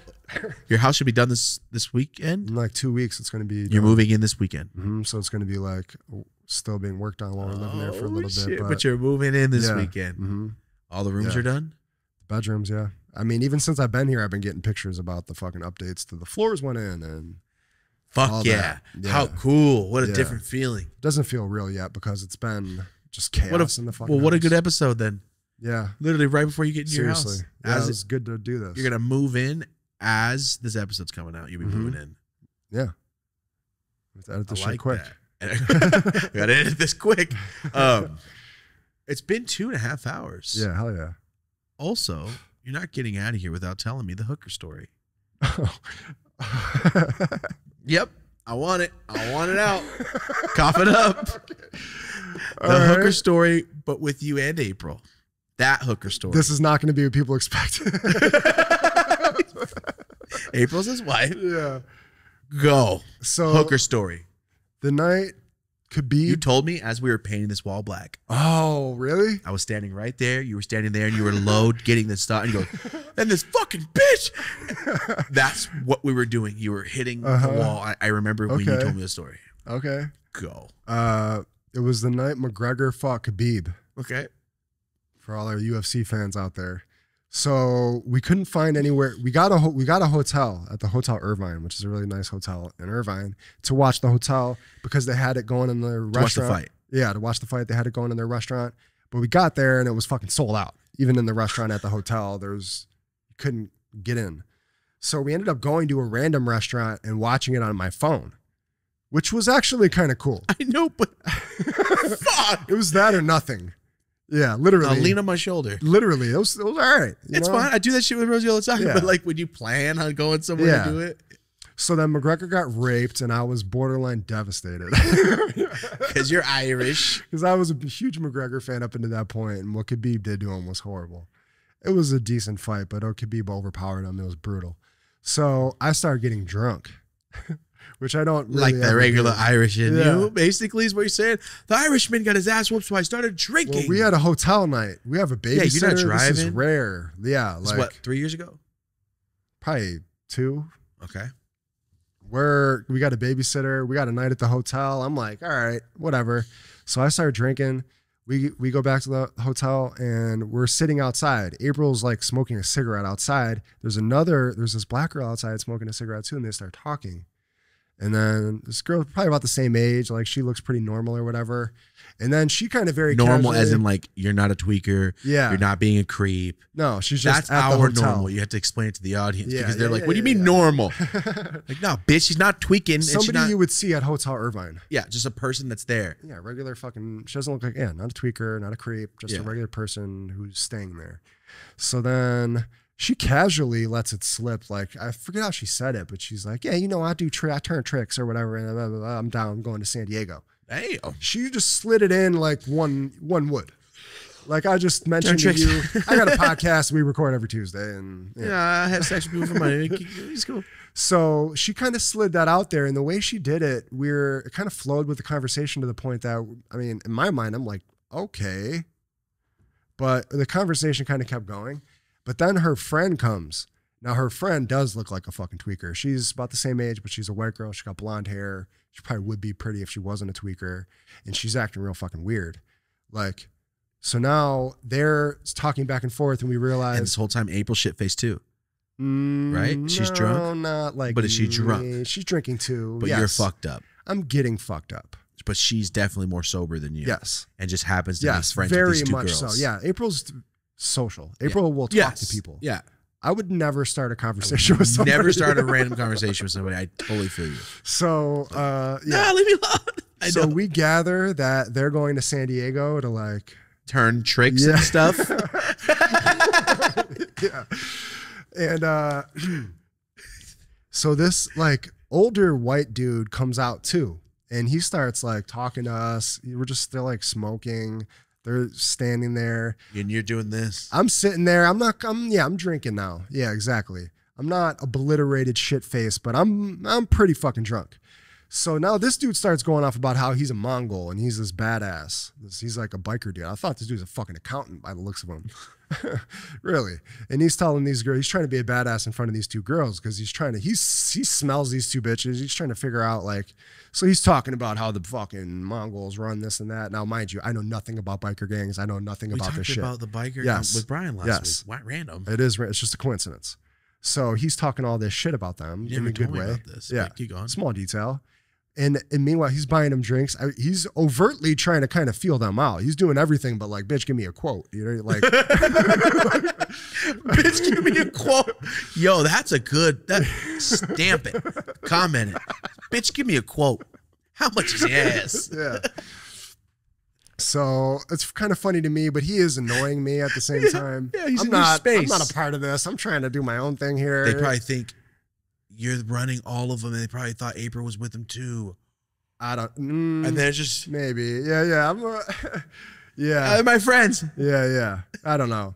So and also now, mind you, so now he's talking to us. They're he's negotiating with them, but but now He's negotiating at this point now. he's lightly negoti He's negotiating after he bought him a drink. He's like, so what's going to be to go? Like he's asking them, and they're like negotiating back with him. Whoa. Yeah. Now, there's also another just straight up soccer mom that comes over and sits with us too. That April, like, do you want to come sit with us? Because like She's her so family was sleeping. or whatever. She's so soul. so a real soccer mom is now in the mix, just she sitting. doesn't know what she got herself into. it's it's There's, entertaining a, for there's this bitch. fucking At this point, it's work entertaining going on Yes. right in front of her. She doesn't know. So the two girls start kind of like I can see like okay these bitches are kind of crazy. They're doing some light arguing over this dude. And he's standing there still. He's going back and forth. He's coming back. He's getting drinks. Like ultimately Got they you. don't end up doing it. they don't end up going back to this dude's room. He bought them drinks. They don't end up going back to this dude's room. Now, the girl's like I got some weed up in my room. I remember she said she said I got some wedding cake up black in my and white room. chick. The black and white chick. She's like, "Let's go get the weed." So me and April Where's soccer mom? Soccer mom's with us. Me, April, and soccer Shut the mom. fuck up. Yes, she comes with us. Oh, she must be hurting Yes. for fucking fun. yes. Her I mean, family went to sleep. She went. Yeah, I'm she's gonna down go with these random outside. hookers Yeah. and couple to smoke weed. Yeah, she's like following along now. She's cool. Security is also aware of these bitches, like, cause I was going to get drinks. I'm talking to the security guard. He's like, "Are these two bitches bothering you back here?" We're like, no, they're fine. Like, he's, they were aware, and They, this, oh, they weren't staying there. they were. Oh, but, But they must have security was aware of these like, bitches, oh, yeah. Oh, So we go up to the room. weird. Yeah. So we go up to the room to get this bitch's weed. And she's. Dead. Oh my god. So me and April and the mom are like sitting on the couch in the hotel room, and they come in. New soccer mom, you, Yes. April. Yes, I'm pretty much blackout drunk at this. At this point, you're- I did have the mindfulness to record some of this. It's in my photos Please somewhere. I have to. I could. It's in my photo Please somewhere. find it and put it on the screen. friend to you and have helped you. You want me to go to fucking San Diego and help you save you from your punk ass phone? Are you fucking kidding out! You, Are you fucking the. You're a fucking piece of shit. Get I'm a piece fuck of shit out. now. Get the I'm a fuck piece of shit now. Now I'm about to call you. fucking play this. Are you fucking, fucking kidding me? Get the fuck out! Bitch, Get the you- fuck out! Are you fucking kidding me? I swear. Because there was a moment where Blur I recorded some of this. Yes, Okay. I'll try to find it. Uh, they start arguing. The hookers. Yes. And the, the black girl grabs this bitch by the hair. Boom, boom, boom. Starts punching this bitch. Out of nowhere? It builds up. I know, but you while guys she's just looking sitting for the weed. It and happens. they're quick. arguing. And then you guys see, oh, Oh shit! I pull out the phone. I'm black. I'm. Bl- I'm. you have the fight Yes. camera? I pulled out where they were fighting and recorded a few seconds of it on my phone. Uh, so she starts this. beating this bitch up. The white girl is not fighting back, but the black girl is being very casual about it. Like on some, she's talking to her in a stern voice, and then she's fucking punching her, and then she's back to explaining to her in a stern voice. Like, it was like that. It was kind of weird. Weird. And the black, the white girl kind of ate it. Like I, could- there was something wrong with this bitch. So the white girl kind of like Something wrong with her? they're fighting, they're screaming. They got somebody in San Diego waiting for them. It's probably not the first time this bitch has punched this other bitch. Me and April are fucking dying at Laughing. this point. Security ends up coming in. so you guys are dying laughing. What's soccer mom do? I'm not really aware of what she was doing, but she was there. And I you're was- cracking up at this girl get her ass. I was really, really drunk, but I knew it was funny. I knew I knew I needed to record but I knew it was Me funny. and April were laughing. She, it was it was just funny how she was beating her up. so I told you not to fold shit like that. Da, da, da. Yeah, Basically, like that type right? of shit. I'm looking for the fucking weed. Yeah. And punched her again. Yeah, like she wasn't yelling. They were arguing. She was speaking to her very abruptly, and she punched her a few times. Wow. Fucking throw her Was she around a little bit of her by her hair. She didn't do like ground and pound shit. The girl wasn't She's fighting back. her up and punching her in the Yeah, face. yeah. That's even worse. Yeah, the girl wasn't fighting back, but she was like manic. So security oh. was like outside. Security ends up. Oh. They are already in. outside the door. Yeah, they're already knowing. I don't know why they're they're like they're Maybe like because they were loud before, beating the fuck out of Yeah. each other. could have been. So You just you saw So the then- fucking you saw the, the- yeah, that was the one breather. little moment of their little trip. You got the breather outside, and then they went back to fight. hmm Yeah, basically, probably. Yeah, these bitches are crazy. So now we go back down in front of the Hotel Irvine with this bitch's weed. Hold on, And- security comes in, says what? What was the noise? Security like didn't that? make a big deal. We're like, we're, we're going out, we're going downstairs, something like that. I'm I'm way too drunk to remember exactly what was said. They didn't like arrest anybody. They didn't break it up. They just were there. So she punched her a few It was times. one dude. He was probably fucking one of these bitches, to be honest. The security guard. Got you. Uh, he was lurking around. So now we go back and now we're in front of the hotel. I'm kind of remembering like this by like scenes. And as soon as the weed came out, I shouldn't have smoked the fucking weed. Oh, so, so wait. She beat her ass, and then the security came, and you went. Don't worry, we got the weed. We're going downstairs. Yes. The white girl, I don't I don't think she came with us. You talking about the soccer mom? No, I'm talking about the The girl that was getting punched. So The not the white hooker. So you're with the black hooker, April, And the soccer mom. Soccer mom. She going stuck downstairs around. with the weed. Yes. oh, she's desperate need for some fun. Okay, hold So on. now- Soccer mom's a white lady. Uh huh. Even She looks like a straight up minivan. Like Love it. picture next to soccer mom in the Love dictionary. it. so you go downstairs. You hit the weed. Uh huh. I remember because I was like, oh, wedding cake. That sounds nice. So I'm smoking this joint. Soccer mom's talking to me. I hit the joint and I'm drunk. Up. So now it's like I'm spinning. April's sitting next to me. The security's still back here. We're in front of the hotel. Security's letting you smoke. Yes. Continue. Yeah. So we're just chilling. And then I'm talking to her. And I, puke everywhere Oh. in the front of this hotel. So, yeah. Was it the end of the night? It was the end of the night. They shuffled me up uh, up into the room. I thought I was about to have some glorious fucking hotel night with April. You know, I, that's what I expected. Fast forward to me dry heaving and having the fucking spins. Uh, and nothing happening aside from that. just threw up everywhere. Marty, you're the only guy ever to be with his wife, two hookers, a soccer mom, blunts, and throw up and pass out. I mean, probably for the best. yeah, I was like, you Probably know, nothing else cool could have came of that situation if you guys would have hung out with that girl anymore any longer. Nah, next next up was like, can I live with you guys? Yeah, with you guys? exactly. Like, yo, I can clean, I can Yeah. do stuff. April, don't worry. No, I just Drive me to San Diego. No, and yeah. Let me borrow your debit card. I'm a my room. holistic healer, and you have to take me to my appointment. exactly. I know how this shit goes. Yeah. You did not go into that much detail when you told me. I'm so happy I asked you Uh-huh. to say that. That's the hooker story. So you, so you, that's the night Khabib became my favorite fighter. when you saw black hooker beat up a white hooker, and Khabib beat up McGregor. McGregor, Yeah. An Irish hooker. an Irish hooker. yeah. I love this. Yeah. Yeah, it was a great story. I'm I'm glad I was as fucked up for it as I was because it added to it. Me If you weren't, you would have been like breaking it up, and it would have been more serious. yeah, Yeah. yeah, no, me puking everywhere at the end was a nice touch too. Nice. Yeah, I'm- usually don't get drunk, nor do I get pukey fucking drunk. It's happened like four times. That was one of them in a super classy hotel. Not that classy. The security guard letting I guess hookers so, chill yeah, and I like mean- I mean, hookers are cool. I met a lot of cool ass hookers, and I didn't know they were hookers Mm. until like later. I go, "Wait, this bitch is hooking. I thought she was just really cool. I mean, you're still cool, but So damn, super friendly. Damn. No, I meant uh, uh, I was with Magic Don Juan. You know who that is? Yeah, I've hung out with him before. Okay, so you've been with a bunch of hookers before too with him. Well, I shouldn't say I've hung out with him before, but I've been around where he's been before. Okay. So he's a pimp, and the girls around him, I'm assuming, are hookers. I met the coolest hooker ever. Escort, lady of the night, whatever you want to call it. Ready? We're in a circle. We're on Hollywood Bowl or on Santa Monica at the store. We're in the back and, and we're smoking weed. I didn't know Magic Don Juan does not smoke weed in his out mouth. of his mouth.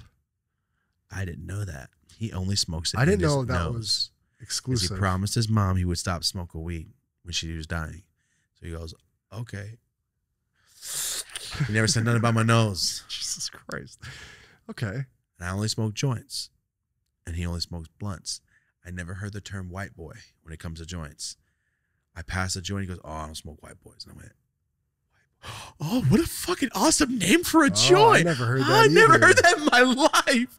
But I went, Oh, that's fine. And he passed it. And I saw him pass the blunt. And I saw him hit it in nose and went, I'm so glad you passed up on my joint. I would have been kind of pissed if you put that in your nose. Of course. I didn't know. How could you ever? I mean, if he does that, that's do your thing. That's cool. on your personal yeah, that's cool. blunts. But that's why he's probably he was like, nah, I'm gonna smoke my blunt. Yeah, yeah, yeah, So he was being cool. I mean, he's a he's a cool dude. Could you imagine? He just hands it back, staring in your eyes. Not that everyone in his crew hit it through the nose too. What? Oh, that's just their thing. No, I think they were like, nah, you guys smoke like that too. The girls at least. All his girls that were with him but I was like, wait, and I found out later about the like, is that motherfucker smoking through his nose? So anyway, to the hooker, we're standing there, and this chick with him was mad cool as fuck.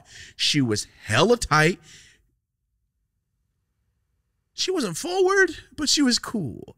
I was with Rosie. We're all me, her, Rosie talking, and I look at her heels and I go, wait.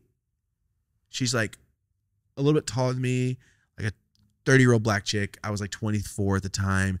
She has like a blonde like wig or some shit on. And I'm like, this bitch looks tight as fuck. She looks like she's dressed for a nightclub. It's four in the afternoon. We're smoking Mhm. weed at a. I'm like, you look like, oh, you're, oh, you're a hooker. Oh, that's why. Anyway, her shoes had no heel. So she's like, no, so my legs stay strong.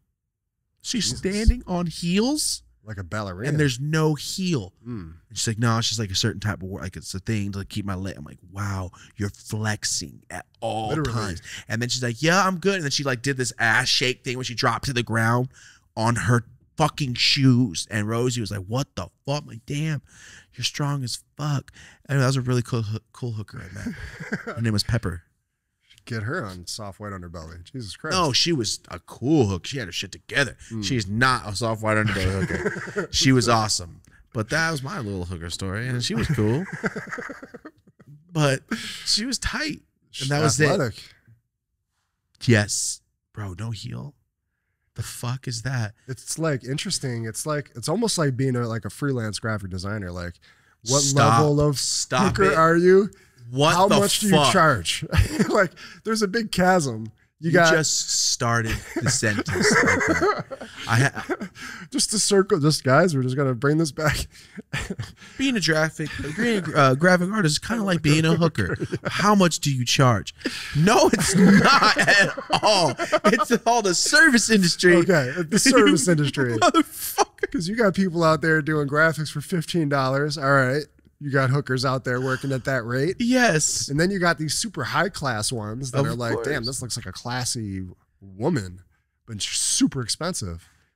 So there's the parallel. Yo, so make sure you make a marker and have your daughter leave the room right before we start this part of the conversation when you're watching this yeah, episode. no, she might miss this one. Jesus fucking Christ. All right, yeah. Service. You know, it's kind of like being a hooker. Stop. Um, hooker story. it's a good clip. Love it. You from birth to now. Yeah. That's what we're doing. Yeah, I love. I loved it. I, I like I said, I didn't want to ask because I there's like eight stories in my head I can think that you've told me. I'm like, yo, you gotta tell them the fucking podcast. Yeah. But I'm gonna leave them. I'll leave them. I'll. You say leave them wanting more. Yeah, exactly. Leave them wanting more. We're not gonna get it all I'm out a of there. slow drip kind of. I'm a slow drip. exactly. Like uh, like for the story times, I was like, I wish I didn't throw eight stories per episode, season one. Yeah. That's Yeah, what I yeah, used to do. Like, ah, let's pace it. Let's pay. That's what we're doing with this. Like, there's more episodes to come. Yeah, we got seasons. There's more stuff. There's seasons. This is season one. So, guys, there's more yeah. to come. Fuck yeah. Um, is there anything else you want to talk about, man?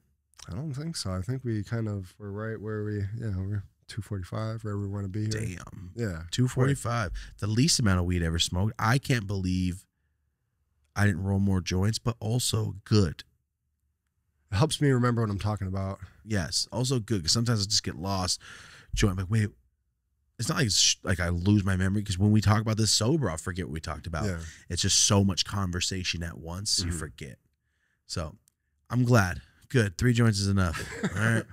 Um, I think that was it, man. Episode 31. Yeah. what are we gonna call this episode? I don't know yet. I don't know. One of Let's my think. random quotables. Yeah. Slap in the face to God. Let's let's call it that. Like your Uh-huh. last quote. Mm. Yeah. See, that would have made a hell of an episode title, but we're like But YouTube. YouTube's really not gonna like that. Christian YouTube probably won't fuck with that either. Uh, Um, now we'll, we'll stay off topic, guys. This is uh, yeah, it's crazy. This is coming out on my birthday. Your birthday just happened. mhm. Good timing. Yeah, that's a whole nother episode. Yeah, that's a whole nother episode. We have we have a bunch of stuff in the works, guys. There's a there's there's stuff happening every fucking day. It feels like. Now we're just looking for a booking agent. Mm-hmm. We're just looking for a booking agent. And what else? Oh, we're moving sets. So this. Oh, next week's the last episode in this set. Okay. All right. All right. We'll Think see. about it. I mean, Well, maybe two more yeah. because we want to give a week to prep everything. Yeah, yeah, yeah, yeah.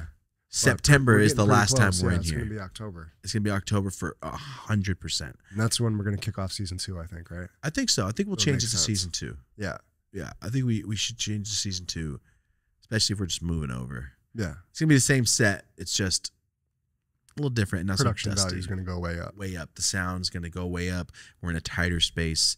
It's not dragging extension cords forty five feet to the Way more professional for guests. to come in and not just see all my inventory. Yeah. yeah, you know.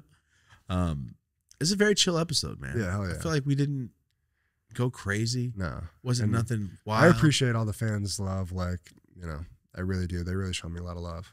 Fuck yeah. That, that really is like fuel to the fire. Like, I really do think about those comments at times when I'm like super stressed, super tired, or even not. That really does keep me going. Like, we get so many amazing comments. I feel bad that like I can't respond to all of them, but Bro, you're way more busy than I am. You can't respond to them all. You can't like all. respond to all of them with a meaningful response about how much like I really appreciate it. Like if I respond to you saying I appreciate that fist bump, like I really fucking appreciate that shit. yeah. It's not like a copy I paste response. Yeah. Which, you know, we're just I'm I'm getting a lot more messages and a lot more that's becoming more in my routine now to interact with the fans. And I love that. That's all I've that's all I want, even with music. Like, Yeah. It just came a different way, yeah, which is so wild. yeah. That's what you were striving for, except you left it. to That's a huge life else. lesson though, because podcasting didn't even exist. I didn't I could have never said I want to be a podcaster. No. didn't even exist. But you work with what's in front of you. And then when you get there, you just know what's right. And you can't be afraid to let go of who you were for like who you want to be. You got to understand you're going to change. It's going to unfold in chapters. You're not going to like the same shit and do the same shit. You're not supposed to, especially when you're on, you're trying to be an entrepreneur and build your own business. You know? most inspirational podcast episode of all time, motherfucker. All right, this is fucking. This is called 12 Mile. All right. This is called 12, the, the, la- the last leg. All right. This is how you're supposed to do it. Damn. Damn. It's, it's crazy because when I think about it, that was a whole fucking movie we went through Mm. just for the characters in your life and the things happening. I could see it. I could totally see it. Yeah. I love it. There's a lot more. We could do a lot more of these. I know that's what I'm saying. Like, ah, this would probably Yeah. be about a t- nine hour podcast if Yeah. we really wanted to go. And we could do it.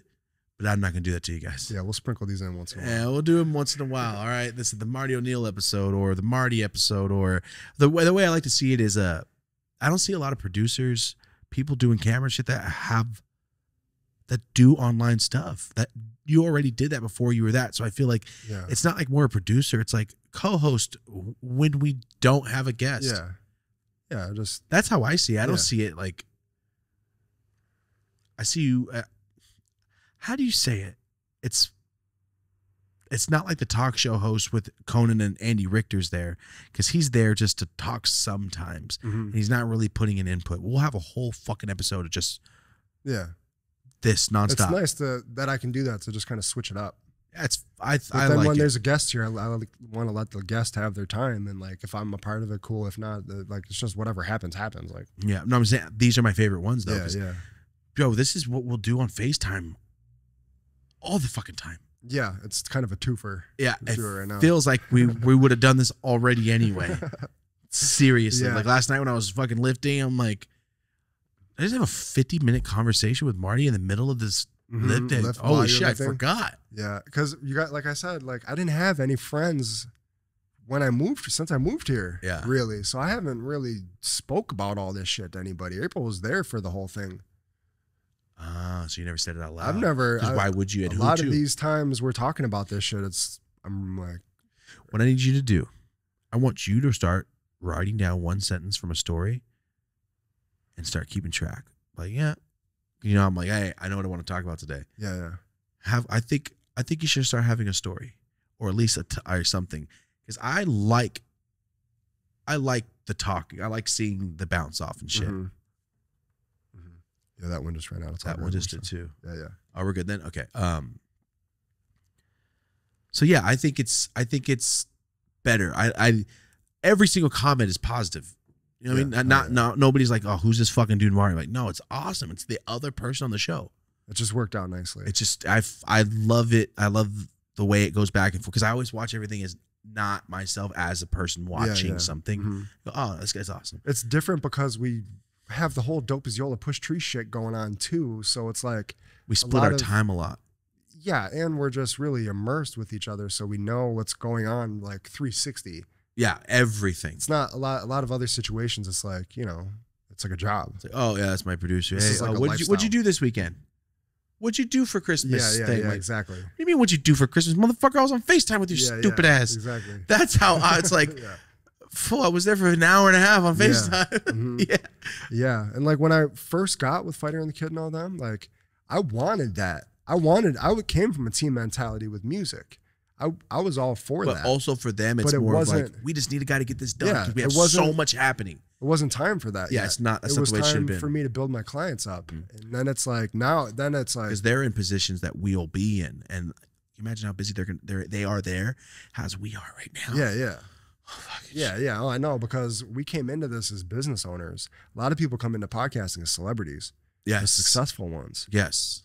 We're coming. We're just as business I'm owners the doing it first every day. producer to come in with a full blown business already. You know what I mean? Like, Yeah. people come in as engineers. Yeah, the people forget like podcasts. I love it. It takes so much time, but also Dope as channel, my other channel, Clo, all the orders, doing the orders. Also, me and Rosie have to live our life sometime and say hi to each other.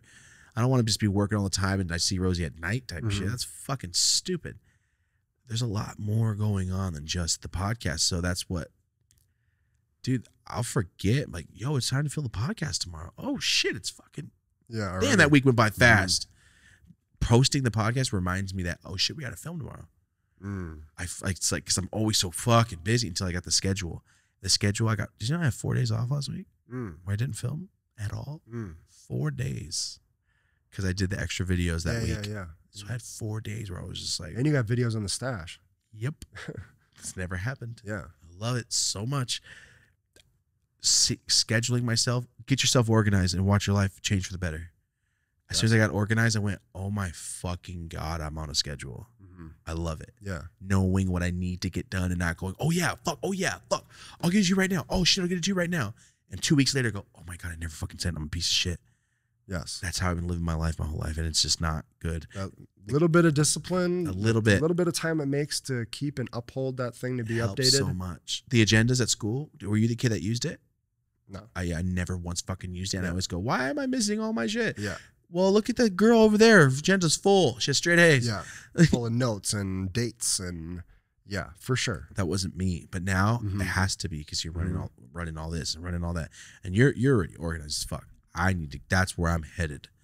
So it was awesome. Four days off last week. Yeah, Watched oh, yeah. movies twice in a row. Two days in a row. I went to the movies. I didn't know what to do with myself. Oh yeah, that is right. Yeah, yeah, you're talking I'm like, that. what do I do with off time? I don't have off Uh-huh. time. I didn't know what to. You got to do. go live so you can go get more shit to talk about. Well, yeah, I guess that too. that too. I mean, even going and seeing new movies and shit. Like, I mean, Oh man, the last two movies I Gotta watched were live the life. shit. So mhm. talk about those next time. Uh, Hell next week, Freeway Rick Ross. yes. All right, guys. The next episode is a guest episode, and we will take it from there. Hell yeah. Anything else you want to say? Happy birthday. Thank you. Happy late birthday to Marty. Just passed.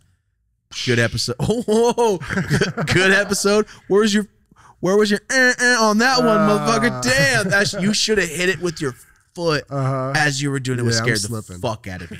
Um, yo, don't they have the little pads? I You can have an figure it out. extension. Yeah, I could. I could figure it out. We'll figure this out. up. guys. New set coming. Sick. Fuck yeah. I think that's everything. Hell yeah. Good episode. Thank you so much for everyone out there been asking. Here it is. Marty at the table. Finally got it done. Finally figured out how to do it. Both other cameras are dead. It's So- though. See, see, we we do have to figure it out a little more. Yeah. But it's trial run. Yeah, yeah. First one ever. Now we know your life, except we don't know all the pieces in it. We just know the skeleton. So at least we know where you're from, Yeah. where you came from, Exactly. what was going bit. on. Please pop up some motherfucking pictures in this edit. Mhm. I want the people to see the pictures you sent me and go, Oh, Marty, you do not look like Marty. I love those pictures. Uh-huh. If you had to blur faces, blur faces. Yeah, yeah. What you eat don't make me shit picture makes me laugh. Ah. I have it saved. Nice. I love it. Uh-huh.